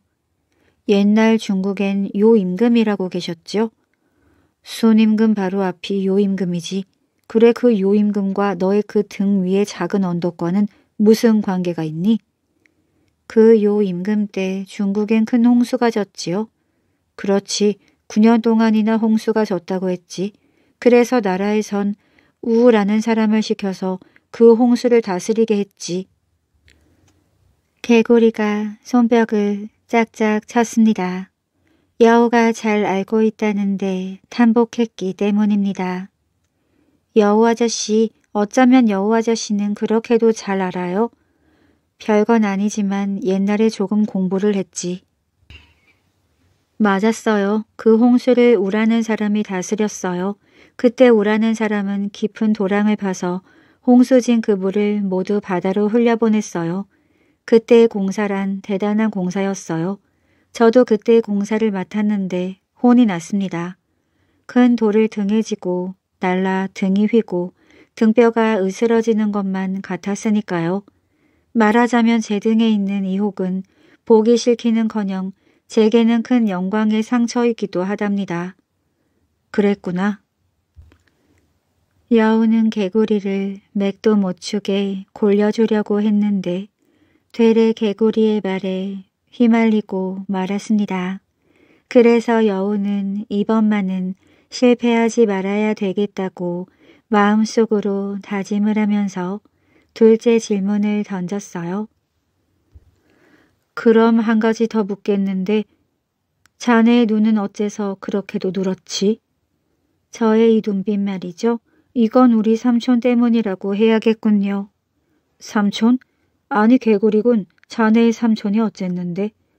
우리 삼촌께서도 옛날 중국에서 벼슬을 냈거든요. 그런데 그때 가목노라는 중국술을 삼촌께서 가져오셨어요. 그걸 제가 조금 먹어보니까 어떻게나 맛이 좋은지 그만 너무 마셔서 그 술 빛깔처럼 제 눈빛도 노래졌지요. 여우 아저씨는 중국 역사를 잘 아시는데 그 가목노라는 술을 마셔보신 적이 있어요? 아니야. 아직도 마셔보지는 못했어. 전 아저씨가 척척 박사이기에 그런 것쯤은 마셔보았을 줄 알았지요. 앞으로는 척척 박사란 소리는 빼야겠군요.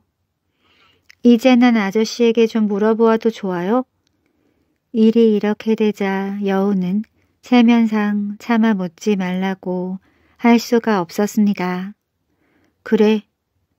그러자 개구리가 틈을 주지 않고 밑도 끝도 없는 말을 했습니다. 아저씨, 전 여우 아저씨가 참으로 부럽습니다. 아니 개구리군, 자넨 지금 무슨 소리를 하고 있는 거야? 내가 부럽다니. 아저씨, 아저씨는 보시다시피 온몸에 이렇게 훌륭한 모피를 뒤집어 쓰고 계시잖아요. 정말 멋져요. 그리고 웬만큼 맞아도 상처가 안 나고 추운 겨울철엔 자연의 두꺼운 외투를 입은 거나 다름없잖아요. 그래서 전 아저씨가 부럽단 말이에요. 음, 자네 말대로야. 이 모피는 정말 내 자랑이지. 여우는 개구리의 칭찬을 듣자 어깨가 으쓱해졌습니다. 그러고 보니 그 모피는 아저씨에겐 고마운 은인과 같은 것이군요. 물론이지 이렇게 고마울 수가 있겠나?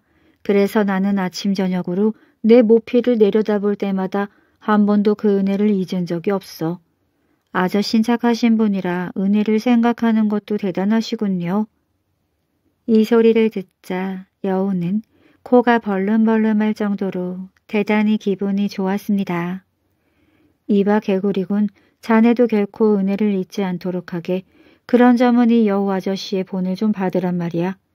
아저씨 그 말씀 명심하겠습니다. 그런데 아저씨 그 모피가 은혜를 베풀어주는 그렇게도 소중한 것이라면 모피의 털이 몇 개쯤인지 알고 계시겠네요. 몇 개예요? 뭐? 이 털? 가만히 있자. 이게... 몇 개인지 모르세요? 아니야. 몇 개란 건 알고 있었는데 오늘 그만 잊어먹었구나. 그러자 개구리가 여우를 비웃는 투로 말했습니다.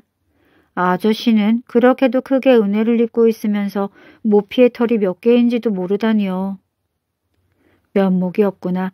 사실이지 그것만은 전혀 모르고 있었다. 여우는 조금 전까지만 해도 큰 소리를 뻥뻥 치고 있었으나 이번엔 얼굴에 식은 땀이 흘렀습니다. 그러자 개구리는 다시 말을 걸어왔어요. 그건 그렇고요. 한 가지만 더 물어볼게요. 옛날부터 영웅오걸들은 자기의 혀를 목구멍 안쪽까지 마음대로 오그라붙인다고 들었는데 그게 정말인가요? 참으로 듣도 보도 못한 질문이었습니다. 그러나 자랑하기를 좋아하는 여우는 조금 전에 당한 창피도 아랑곳하지 않고 자신만만하게 대답했어요. 정말이지 우리 아버지는 그 일에 어느 누구보다도 뛰어나서 많은 칭찬을 받았단다. 나도 조금은 오그라붙일 수 있단다.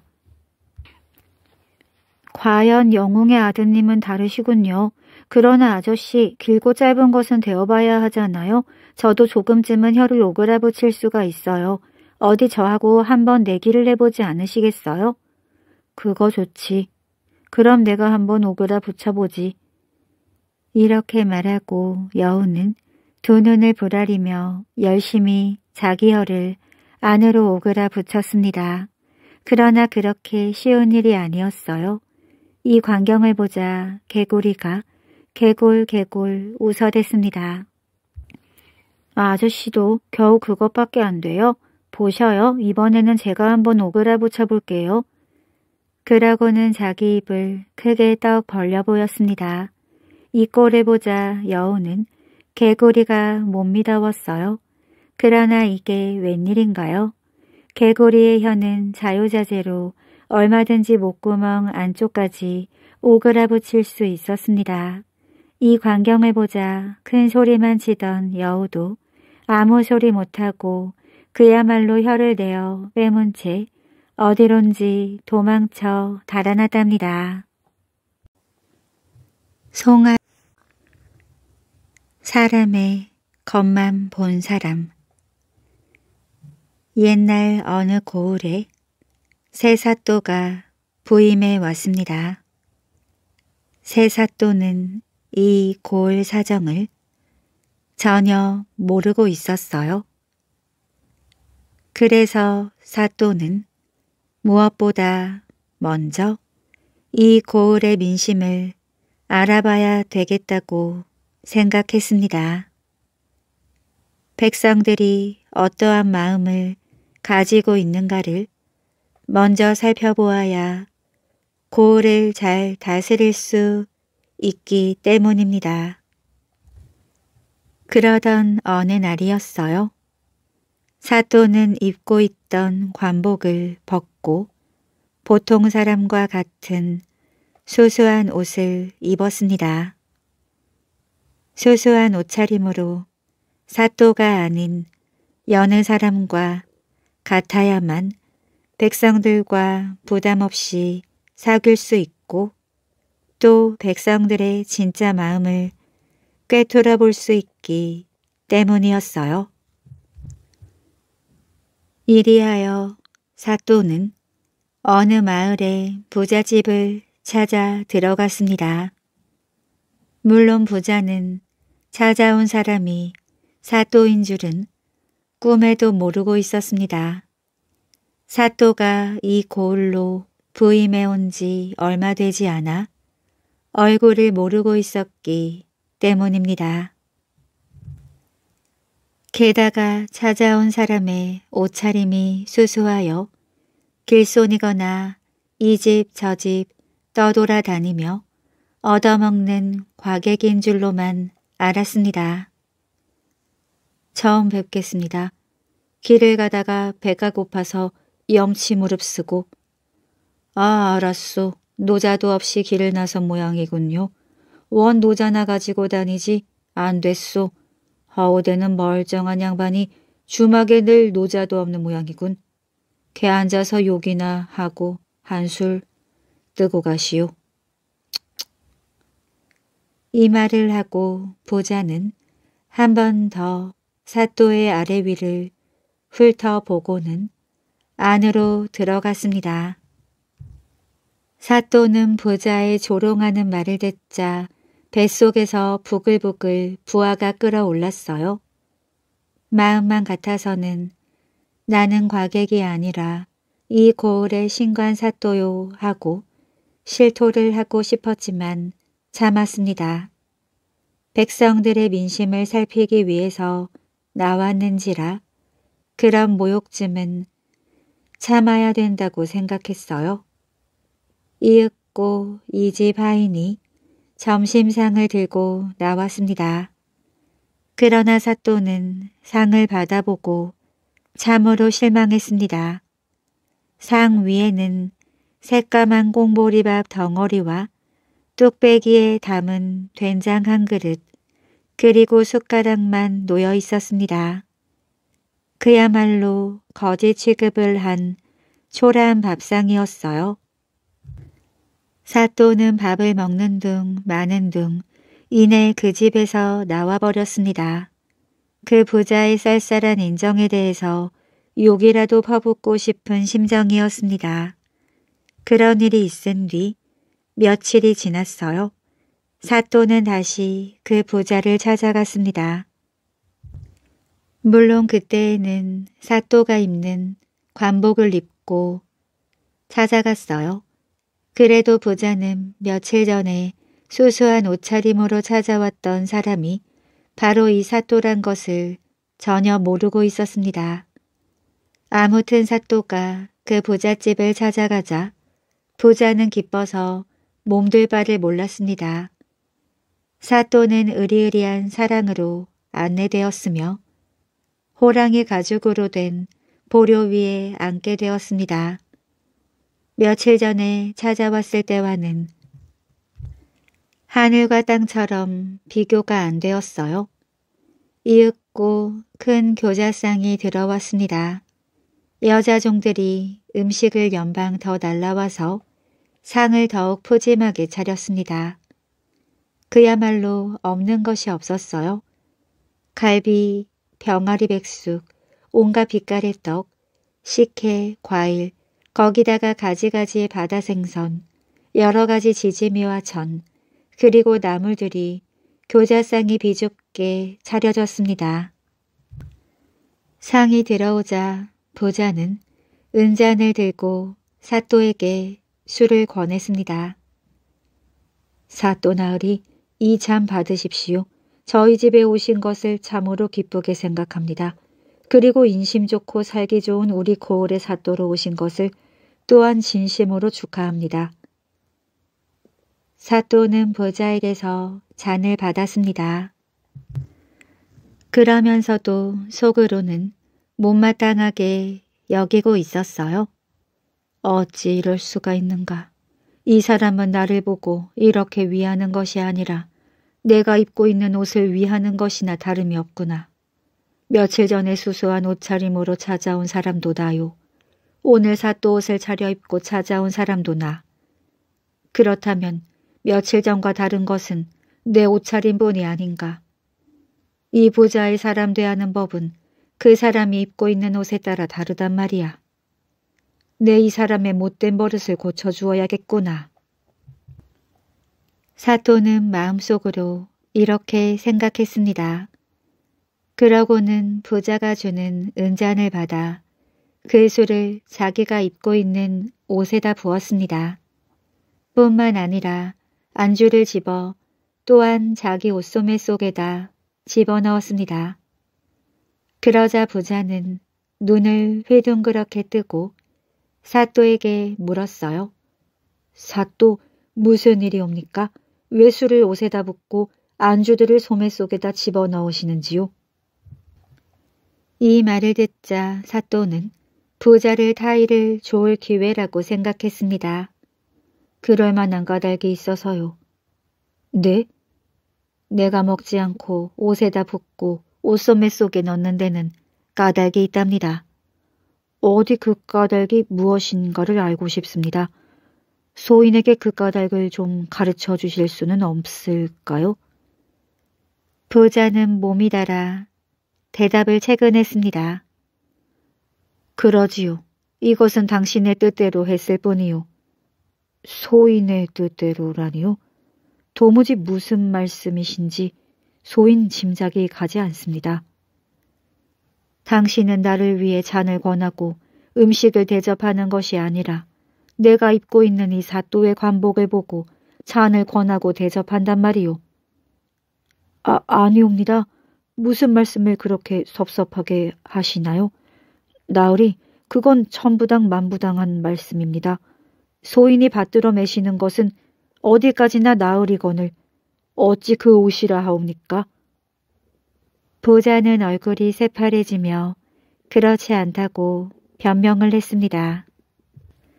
사또는 이야기가 여기까지 오자 이제 사실대로 며칠 전의 일을 털어놓아야겠다고 생각했습니다. 요 며칠 전에 당신을 찾아온 과객이나 거지 같은 사람이 있었지요. 예? 과객이 아니라 그 옷차림이 꼭 거지와 같았습니다. 그래서 내가 밥 한 술을 주었지요. 분명히 밥 한 술이었지요. 예, 그렇습니다. 거지들에게야 꽁보리밥에 된장이 제격 아니옵니까? 요 며칠 전에 찾아왔던 그 사람이 바로 나였소. 예? 그럴 리가 있겠습니까? 분명히 그 사람은 거지였습니다. 부자는 시퍼렇게 잡아떼었습니다. 아니요. 내가 이 고을에 부임한 바로 며칠 뒤였소. 이 고을 민심이 어떤가 하고 일부러 사또 관복을 벗고 수수한 옷차림을 하고는 맨 먼저 이 집을 찾아왔지요. 그런데 그때 당신은 내 옷차림을 보더니 깔보고 부대져 버렸소. 이 말을 듣자 보자는 고개를 들고 한참 동안이나 사또의 얼굴을 빤히 보았습니다. 며칠 전에 거지꼴로 찾아왔던 그 얼굴과 지금의 사또 얼굴을 비교하여 보고 있는 것이지요. 그러더니 부자는 다시 무릎을 꿇고 사또 앞에 엎드렸습니다. 나으리 소인 죽을 죄를 지었습니다. 이 어리석은 놈을 굽어 살피시어 너그러이 용서해 주시기를 빕니다. 세상에 어찌 그럴 수가 있소. 며칠 전에는 그렇게도 부대접하던 분이 오늘은 이렇게도 융숭하게 대접하는 걸 보니 이 모두가 입고 있는 옷을 보고 사람 차별을 하는 것이 분명하오. 내가 지금 옷에 술을 붓고 옷소매 속에다 음식을 넣은 것도 당신이 나를 위한다기보다 내 옷을 위하기에 나도 그렇게 해본 것이오. 아무리 의복이 날개라지만 그 의복보다도 그 의복 밑에 뛰고 있는 마음을 볼 줄 알아야지요. 앞으로는 절대로 겉에 걸친 의복으로 그 사람을 보지 말기를 바라오. 내 말을 알아듣겠소. 감사합니다. 정말 감사합니다. 영명하신 우리 사또님 분부대로 명심하겠습니다. 이리하여 이 부자는 그 뒤 정말 딴 사람이 되었답니다. 사람을 보되 그 겉만 보지 않았음은 물론이고 인심도 후한 착한 사람이 되었답니다. 이와 벼룩 먼 옛날 어느 곳에 빈대가 살았습니다. 이 빈대의 집에서 즐거운 잔치가 벌어졌어요. 빈대 아버지의 환갑 잔치가 열린 것입니다. 빈대는 자기와 가장 친한 벼룩과 이에게도 초청장을 보내어 잔칫날 꼭 놀러오라고 정했습니다. 이런 기회에 친한 친구끼리 만나는 것은 아주 좋은 일이라고 생각했습니다. 한편 초청을 받은 벼룩과 이도 심심하고 따분하던 때 마침 잘 되었다고 생각했습니다. 그래서 둘은 잔칫날 함께 가기로 했어요. 친구도 만나고 맛있는 음식 대접도 받을 것을 생각하니 그날이 기다려졌습니다. 그러던 중 마침내 기다리고 기다리던 잔칫날이 되었습니다. 벼룩과 이는 함께 집을 나섰어요. 처음 얼마 동안 벼룩과 이는 도란도란 이야기를 나누면서 정답게 걸어갔습니다. 빈대가 어떤 음식으로 우리를 대접할까? 어떤 술을 낼까? 하며 그날 나올 잔치상 이야기를 제일 많이 했습니다. 그런데 벼룩은 따분해졌습니다. 원래 성미가 급하고 걸음이 빠른지라 언제까지나 느림 보인 이와 같이 걸을 수가 없었어요. 그래서 벼룩은 톡톡 튀어서 이보다 앞질러 갔습니다. 이제야 마음이 후련했어요. 그러나 뒤따라오는 이는 불평을 늘어놓았습니다. 벼루가 어쩌면 넌 그렇게도 인정머리가 없고 인내심이 없니? 한강물이 넘느냐 아니면 난리가 터졌느냐? 그렇게 바쁘게 서두를 것 없잖니? 나하고 천천히 가자꾸나. 네가 먼저 간다고 잔치상 먼저 올리지는 않을 거야. 이 말을 듣자 벼룩은 어쩌면 이의 말이 맞을 것 같다고 생각했습니다. 그래서 다시 이와 같이 느릿느릿 걸어갔습니다. 그러나 한 번만 뛰어도 멀리 가는 벼룩이 이의 걸음걸이를 보니 답답하지 않을 수가 없었습니다. 이는 걷는지 그 자리에 섰는지 전혀 모를 정도로 그저 꼬물꼬물 움직이기만 했습니다. 이야 아무래도 난 먼저 가야겠다. 느린 보인 너하고는 도저히 못 가겠어. 내 한 걸음이 너의 수백 걸음보다 크니 어쩔 수 없지 않아? 내 먼저 가서 기다리마. 넌 천천히 와. 먼저 가도 절대로 혼자 먹지 않고 너 올 때까지 기다릴게. 이러더니 벼룩은 또 톡톡 튀어서 먼저 떠났습니다. 이는 변덕쟁인 벼룩이 밉고 괘씸했어요. 금시같이 간댔다가 금시 먼저 가버리는 벼룩이 미웠습니다. 그러나 이는 낙심하지 않았어요. 왜냐하면 자기를 청해준 빈대도 벼룩보다는 걸음이 느림으로 자기가 도착하기 전에는 결코 잔치를 시작하지 않으리라고 생각했기 때문입니다. 한편 벼룩은 톡톡 튀어서 마침내 빈대집에 도착했습니다. 집에 들어서기가 무섭게 맛있는 냄새가 코를 찔렀습니다. 벼룩이 바라보니 상 위에는 떡이며 고기며 술들이 가득하게 차려져 있었어요. 벼룩은 군침이 돌았지만 우선 빈대의 아버지에게 절부터 했습니다.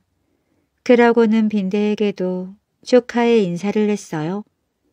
빈대야 너의 아버님 환갑을 진심으로 축하한다. 벼루가 고맙다. 먼 길을 와주어서 고마워. 한데 이는 오지 않느냐? 같이 나섰는데 워낙 걸음이 느려서 아직도 멀었어. 빈대야 거기 술 한 잔 따라다오. 단숨에 뛰어왔더니 목이 타는구나. 그러마 천천히 이와 같이 오지. 이 더운 날씨에 숨을 할딸거리며 뛰어오니까 그렇지.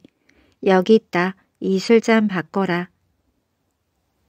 빈대는 술을 따라 벼룩에게 주었습니다.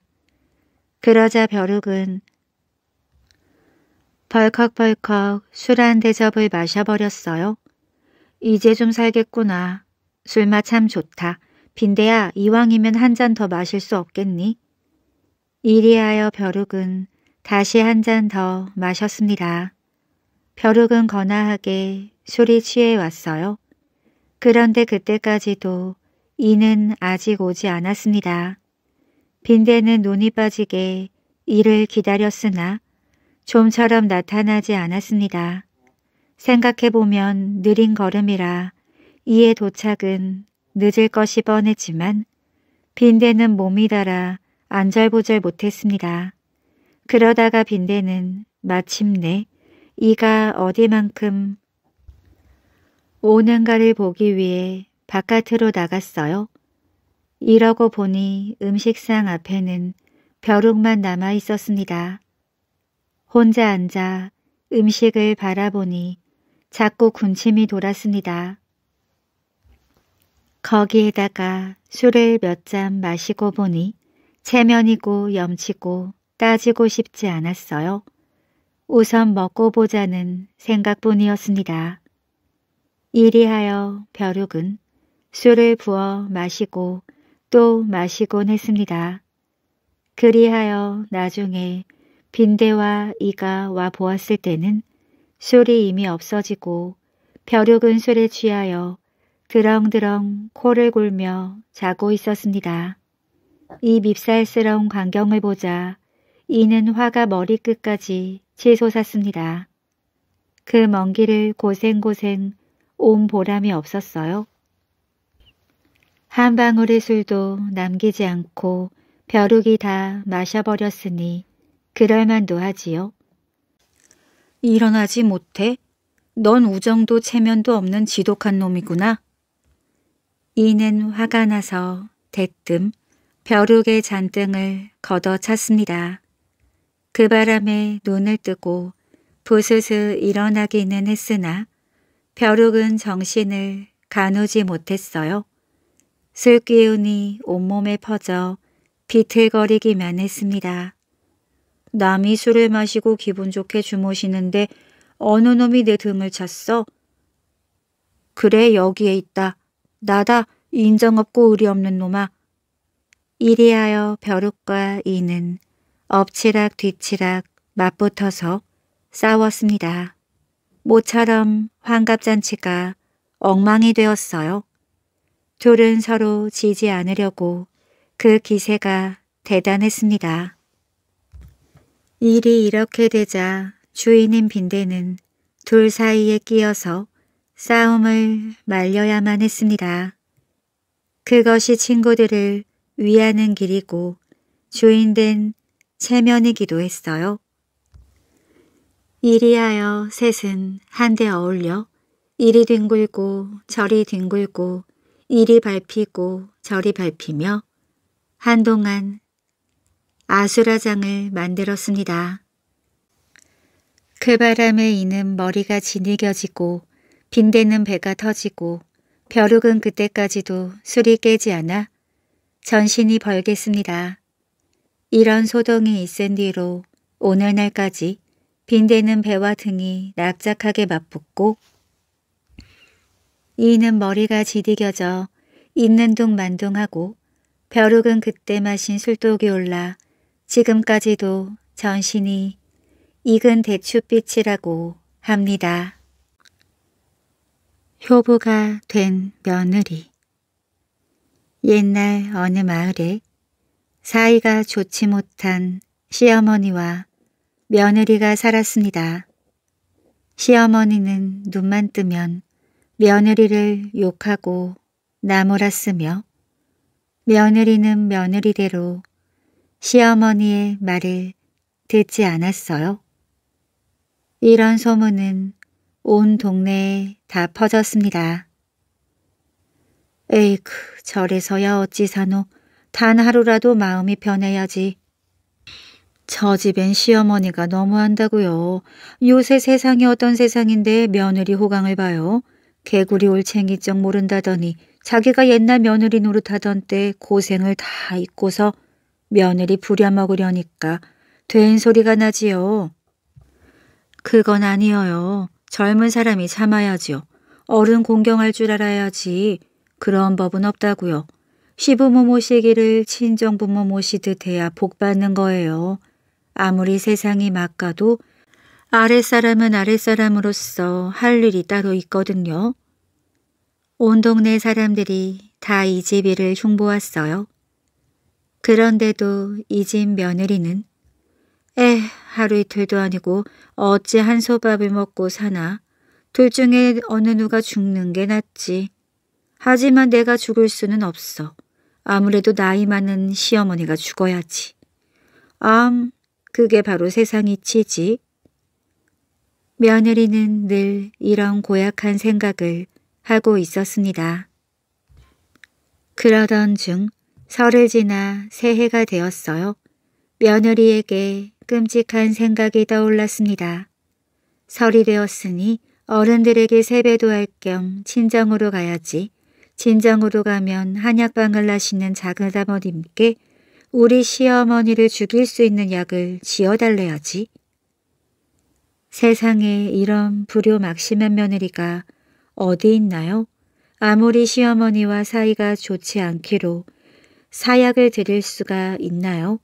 그러나 약독한 며느리는 작은 아버님을 찾아가서 말했습니다. 작은 아버님, 전 도저히 그 시어머니 밑에서 살 수가 없어요. 그것도 하루 이틀이지 매일 호되게 당하고 보니 견딜 수가 있나요?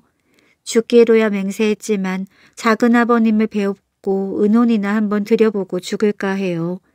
작은 아버님, 전 아직 젊지 않아요? 그러니 어째요? 저보다 시어머니가 먼저 돌아가셔야지요. 우리 시어머님이 편안히 돌아가실 수 있는 그런 약 없을까요?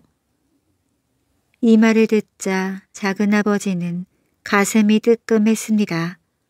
조카 딸의 넋두리를 듣자 당장 따귀를 때리고 호통을 치고 싶었지만 그러지는 못했습니다.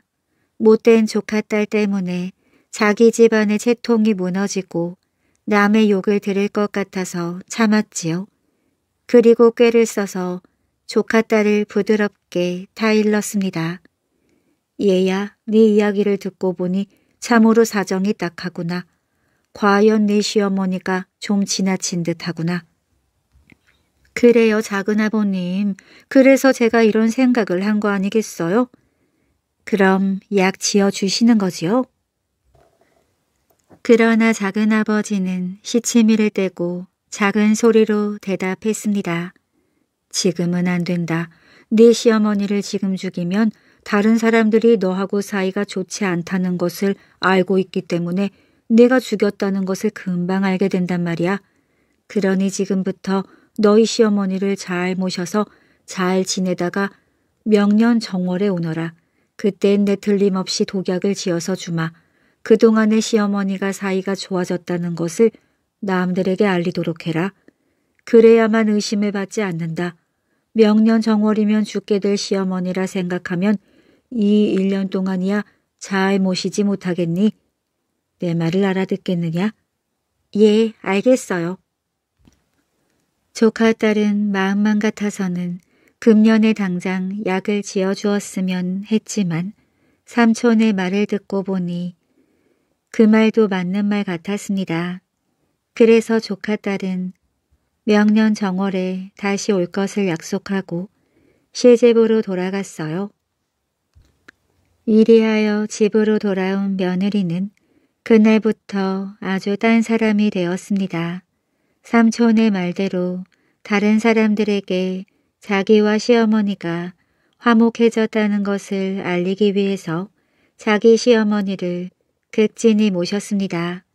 시어머니에게 맛있는 음식을 해드리고 늘 웃는 얼굴로 시어머니의 말을 고분고분 잘 들었어요. 그리고 틈만 나면 시어머니의 팔다리를 주물러 드리고 또 시어머니의 옷, 이불, 요들을 깨끗하게 손질해 드렸습니다.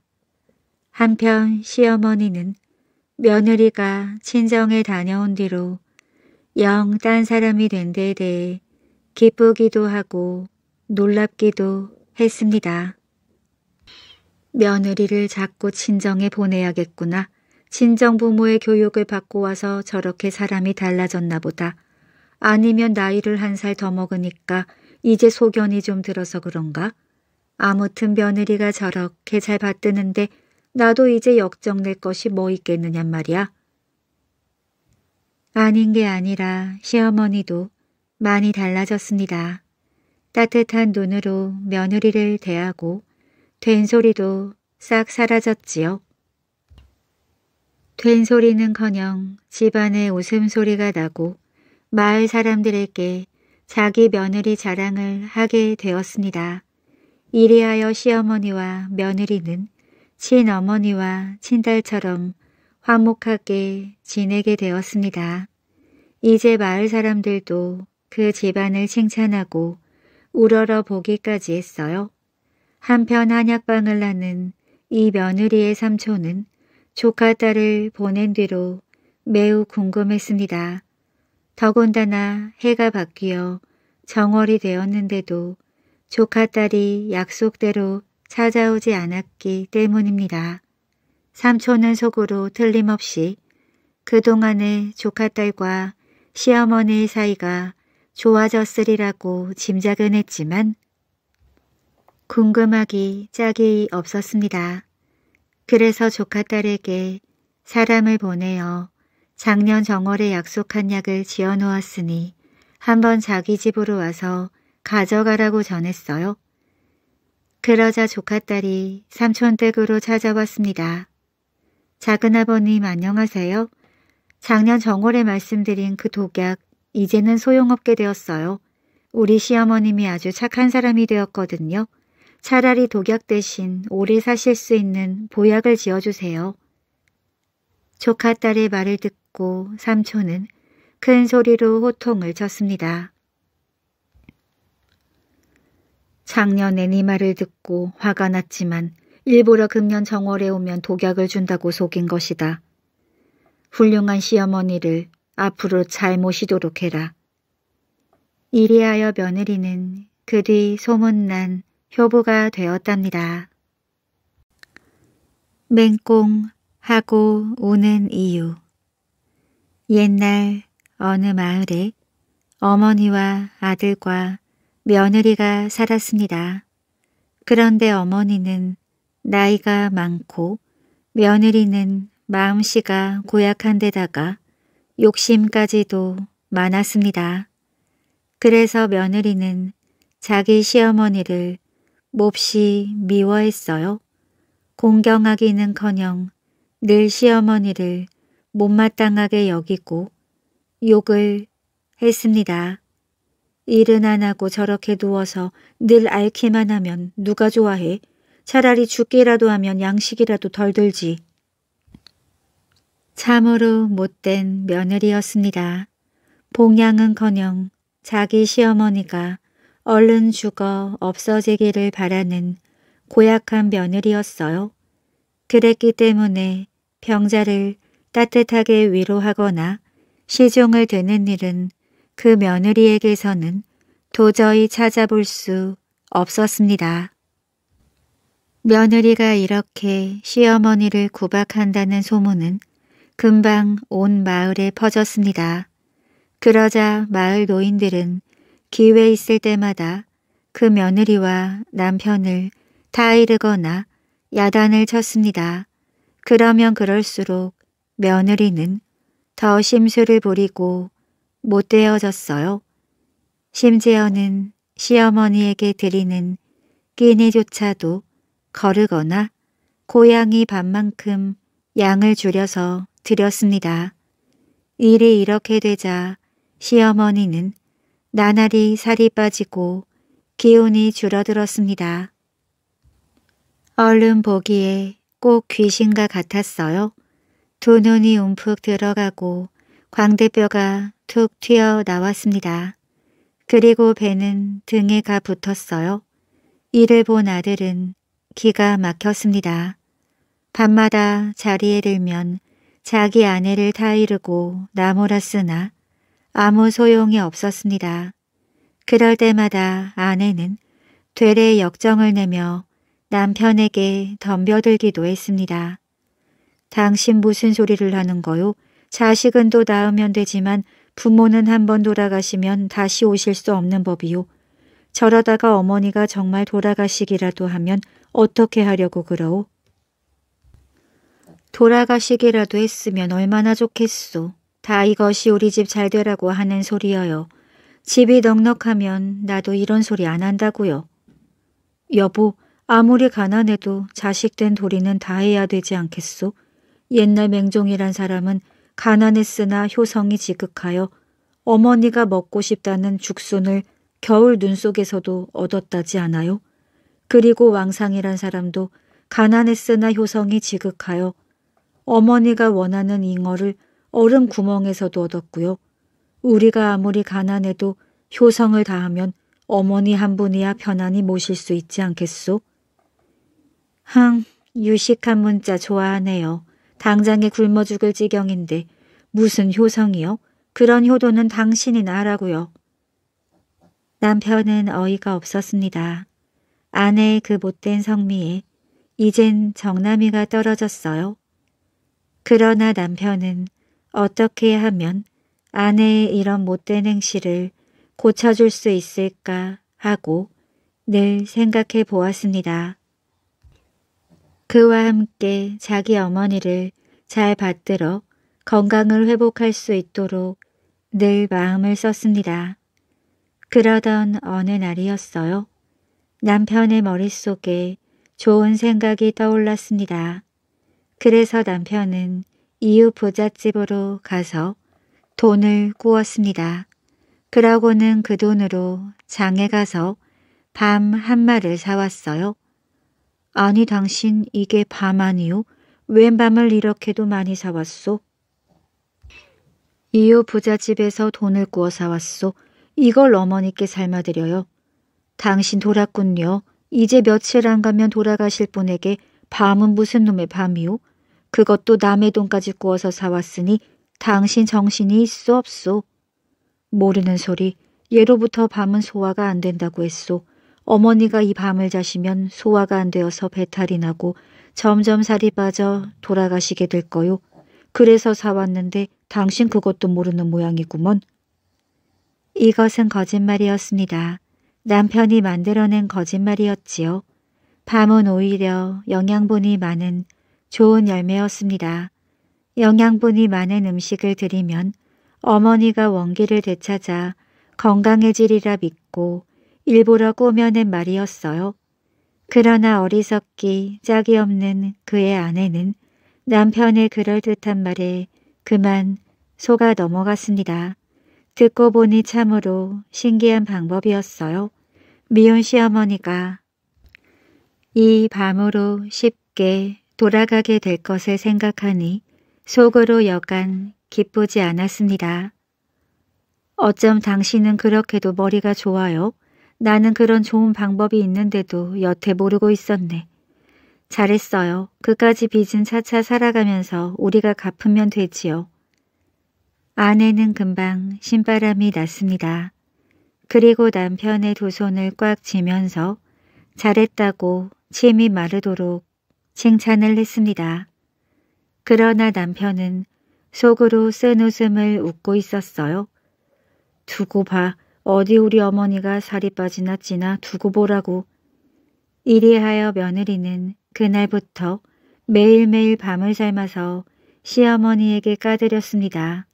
그러고는 여느 때와는 달리 갖은 아양을 다 떨었어요. 얘야, 이 어찌 된 일이냐. 이 맛있는 밤을 다 삶아주게. 어머님 많이 잡수셔요. 이 밤 잡수시고 어서 기운을 내셔요. 내 누워만 계시니 저희들이 보기에 딱해서 밤을 사왔어요. 이렇게 시치미를 떼고 아양을 부렸어요. 그러면서도 어리석은 며느리는 속으로 시어머니를 비웃고 있었습니다. 밤을 먹으면 살이 빠지고 건강을 잃쳐 쉬 죽게 될 텐데 어리석은 어머니는 좋아만 하시네. 며느리는 정과는 달리 정성을 들여 매일매일 밤을 삶아서 시어머니에게 드렸습니다.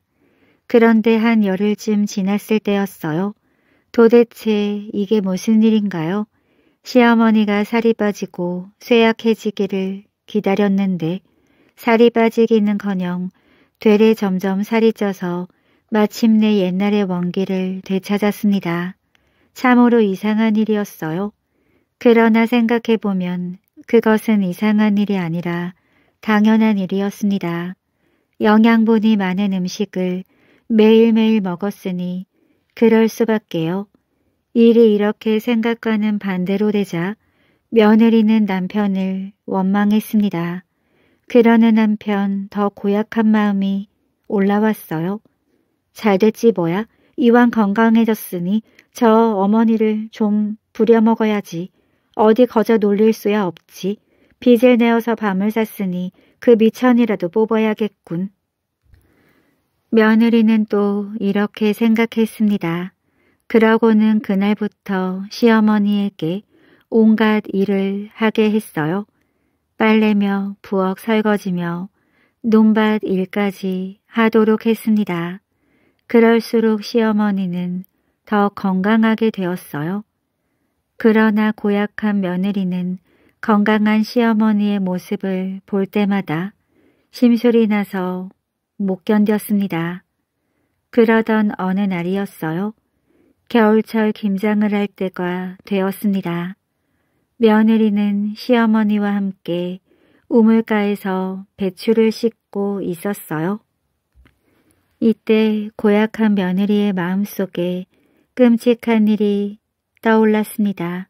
며느리는 눈을 딱 감고 시어머니를 깊은 우물 속으로 넣었습니다. 이런 못된 며느리가 어디 있을까요? 자기 발로 차서 시어머니를 우물에 빠져 죽게 하다니요. 그런데 눈을 감고 있는 며느리의 눈 속에 이상한 광경이 보였습니다. 하늘에서 금 동아줄이 스르르 우물 속으로 내려오더니 시어머니를 달고 하늘로 올라가는 거예요. 며느리는 깜짝 놀라 눈을 크게 뜨고 하늘을 쳐다보았습니다. 그러나 시어머니는 벌써 하늘 저 멀리로 올라간 뒤라 이제는 보이지도 않았습니다. 참으로 신기한 일이 아닐 수가 없었어요. 마음씨가 고약하고 어리석은 며느리는 이 광경을 보자 이번에는 하늘로 올라간 시어머니가 부러워서 견딜 수가 없었습니다. 하늘로 올라가면 얼마나 좋을까? 시어머니가 하늘로 올라가게 된 것은 한 마리나 되는 밤을 먹고 살이 쪘고 우물에 빠졌기 때문이야.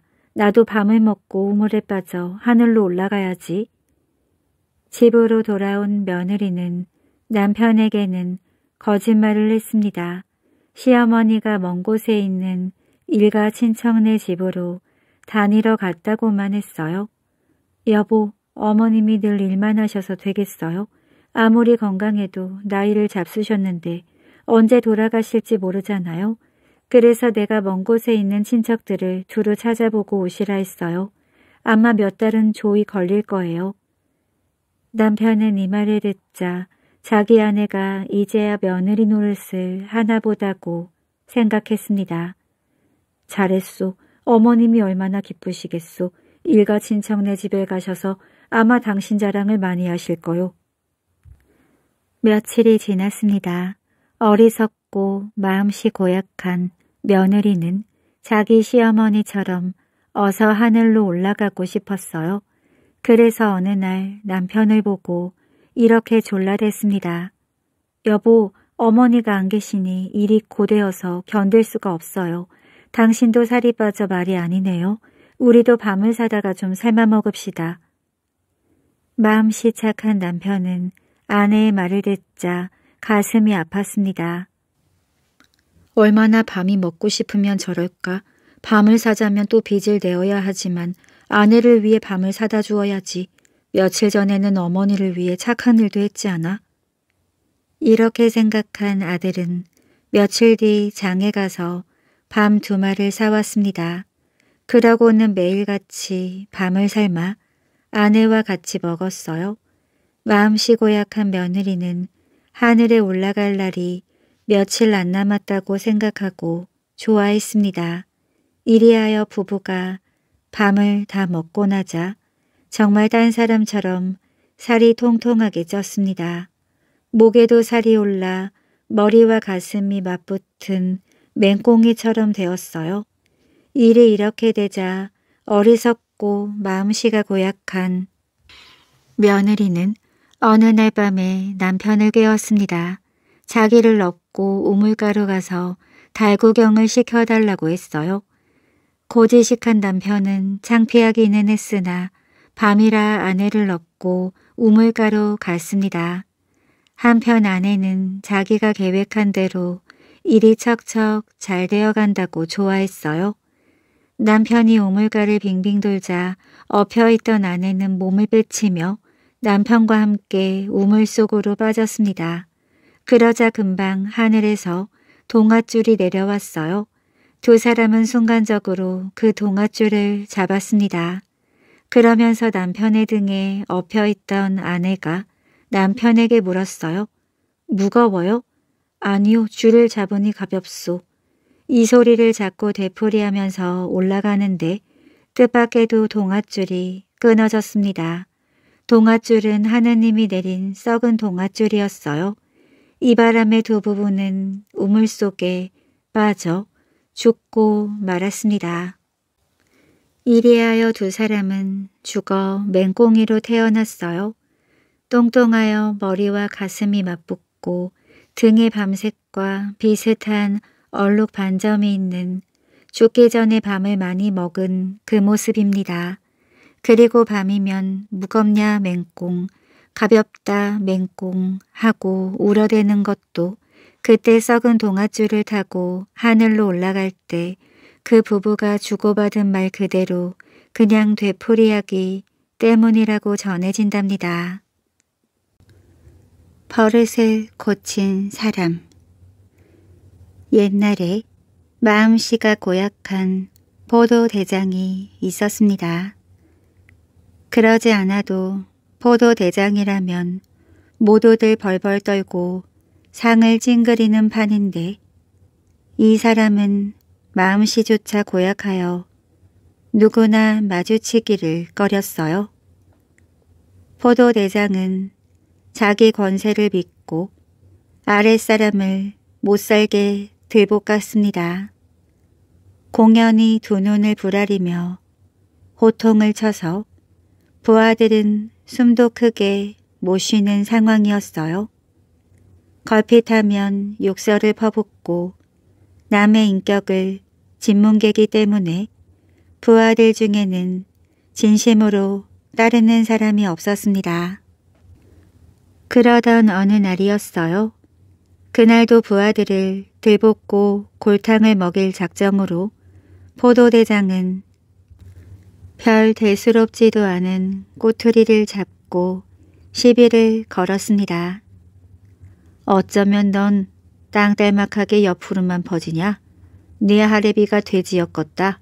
저 들창 코에다 뒤룩거리는 걸음걸이하며 영락없는 돼지야. 포도대장은 여러 부하들 앞에서 한 키 작은 부하를 보고 서슴없이 비꼬았습니다. 이 부하는 포도대장에게 이런 소리를 벌써 수십 번도 더 들어봤습니다. 이 소리를 들을 때마다 우라가 치밀었지만 참지 않을 수가 없었어요. 만약 뭐라 대꾸라도 하게 되면 더 무서운 불호령이 내리기 때문이었습니다. 그러나 오늘만은 도저히 참을 수가 없었습니다. 전에 없이 오늘은 그 욕 속에다 돌아가신 할아버지까지 들고 나섰기 때문입니다. 아무리 참으려고 해도 가슴 속이 부글부글 끓어올라서 삭힐 수가 없었습니다. 부하는 포도대장의 코를 꺾어 놓아야겠다고 생각했어요. 그러나 일대일로 맞섰다가는 본전도 못 찾을 것만 같았습니다. 그래서 이와는 반대로 포도대장의 비위를 거스르지 않고 안갚음을 할 방법을 찾아냈습니다. 대장님, 그래, 이 돼지야. 작작 먹어라 작작. 그러다가 배때기 찢어지면 누가 깨매니? 그러나 이 소리를 듣고도 그 부하는 참았습니다. 그러고는 시체미를 떼고 포도대장을 우러렀어요. 대장님, 우리 대장님은 꼭 위대하신 하느님 같으십니다. 뭐라? 하느님 같으시다고요? 그래? 포도대장은 이 소리를 듣자 어깨를 으쓱대며 코끝을 하늘 위로 축혀 올렸습니다. 참으로 그 소리가 흡족했습니다. 그러나 포도대장은 이내 되물었어요. 그런데 말이야 내가 어째서 하느님 같으냐? 나도 그렇다고는 믿고 있지만 네 생각에는 무엇 때문인지 말해보라는 거다. 망설일 거 없어. 대답이 그럴싸하면 오늘 한잔하자고. 포도대장은 그 부하가 더 아첨을 부리는 대답을 해주길 기다리는 눈치였어요. 그래야만 자기의 위신이 서고 칭찬도 앞뒤가 맞게 된다고 생각하는 것 같았습니다.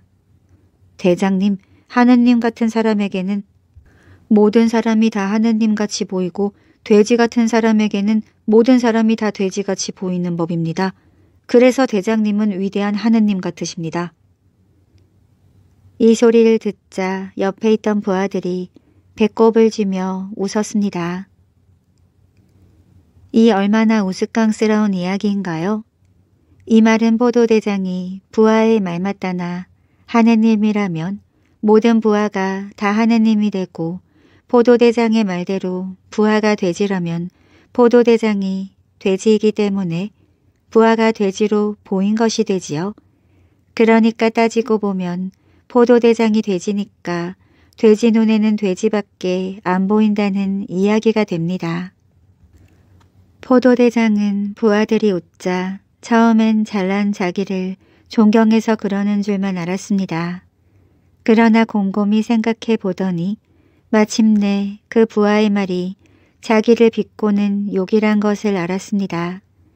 그러나 그 부하를 벌 줄 수는 없었어요. 벌은커녕 얼굴을 붉힌 채로 도망친 포도대장은 그 뒤 자기의 못된 버릇을 고쳐 아주 딴 사람이 되었답니다. 거만한 임금 옛날에 대적할 만한 자가 없을 정도로 거만한 왕이 있었습니다. 왕이라면 한 나라의 제일가는 어른임에는 틀림없지만 이 왕은 어찌나 콧대가 높고 거만한지 모든 백성들이 눈살을 찌푸렸습니다.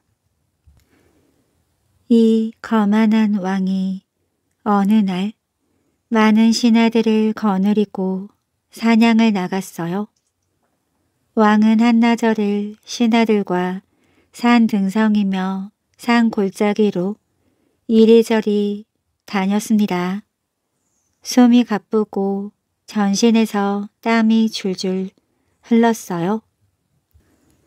이처럼 너무나 덥고 땀이 흐르자 왕은 산 골짜기에 무리개 농덩이를 찾아 목욕을 했습니다. 몸에 물을 끼얹으니 좀 살 것 같았어요. 왕이 이렇게 목욕을 하고 있을 때였습니다. 어떤 사람이 몰래 왕의 옷을 입었습니다. 그러고는 웅덩이 곁에 메어둔 왕의 말을 타고 신하들이 있는 곳으로 갔어요. 그러자 신하들은 이 사람이 왕인 줄만 알고 공손히 절을 하며 왕궁으로 인도했지요. 한편 이런 줄은 꿈에도 모르고 목욕을 마친 왕이 웅덩이에서 나와 보니 벗어둔 옷이 없었습니다. 사방을 두루 찾아보았으나 누더기 옷이 한 벌 있을 뿐 자기 옷이 눈에 띄지 않았어요.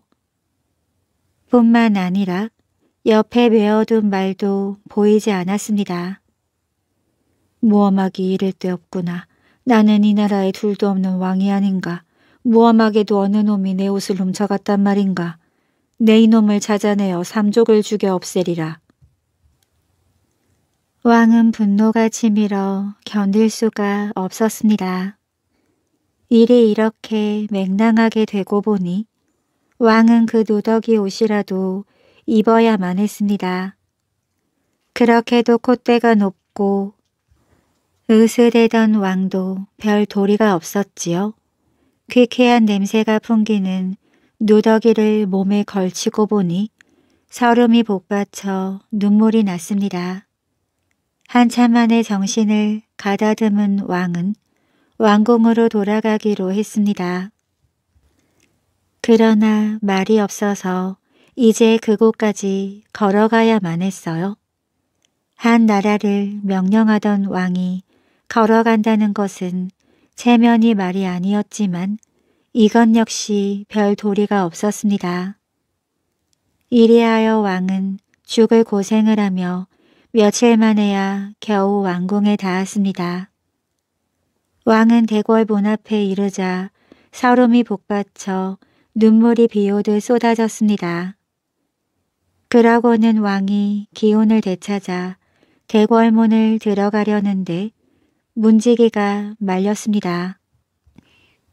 내 이놈들 모함하다. 이게 무슨 짓이냐. 나는 이 나라의 왕이 아니냐. 모함하기 짝이 없구나. 이 문 어서 열지 못할까? 여기가 어딘 줄 알고 함부로 들어가려고 하느냐? 문지기는 두 눈을 부라리며 삼지창으로 왕을 찌르려고 했습니다. 이 바람에 왕은 전신에 소름이 끼치고 무서워서 그곳에서 그만 도망치고 말았어요. 왕은 참으로 어이가 없고 기가 찼습니다. 어쩌다가 이런 가엾은 신세가 되었나 하고 한탄 섞인 한숨을 쉬었으나 이젠 엎질러진 물과 같았습니다. 그러나 왕은 다시 기운을 차렸어요. 이번에는 정승집을 찾아갔습니다.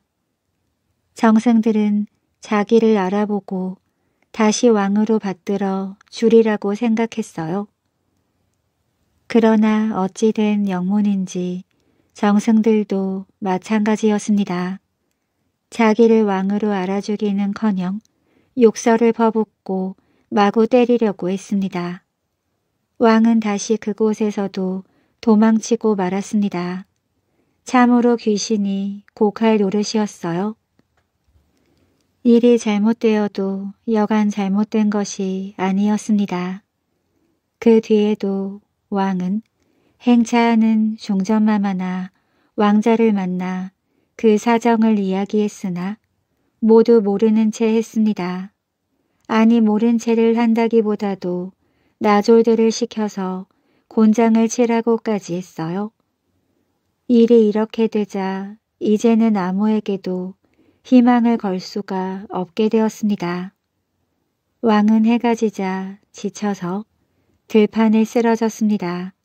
온종일 쫓겨다니느라 다리가 아프고 전신에서 기운이 빠졌습니다. 그러나 모기 때에 물려 잠을 잘 수가 없었어요. 게다가 배도 고팠습니다. 왕은 들판에 누워 총총히 빛나는 별들을 쳐다보았습니다. 자신의 신세가 가련하기만 했습니다. 왕은 지나온 옛날과 오늘 겪게 된 괴로움을 곰곰이 생각해 보았습니다. 이제야 알겠구나. 오늘의 이 괴로움은 내가 여태 사람들을 깔보고 거만하게 굴었기 때문이야. 그래서 하느님이 천벌을 내리신 게 분명해. 이렇게 왕이 자신의 잘못을 뉘우치자 갑자기 마음이 겸손해졌습니다.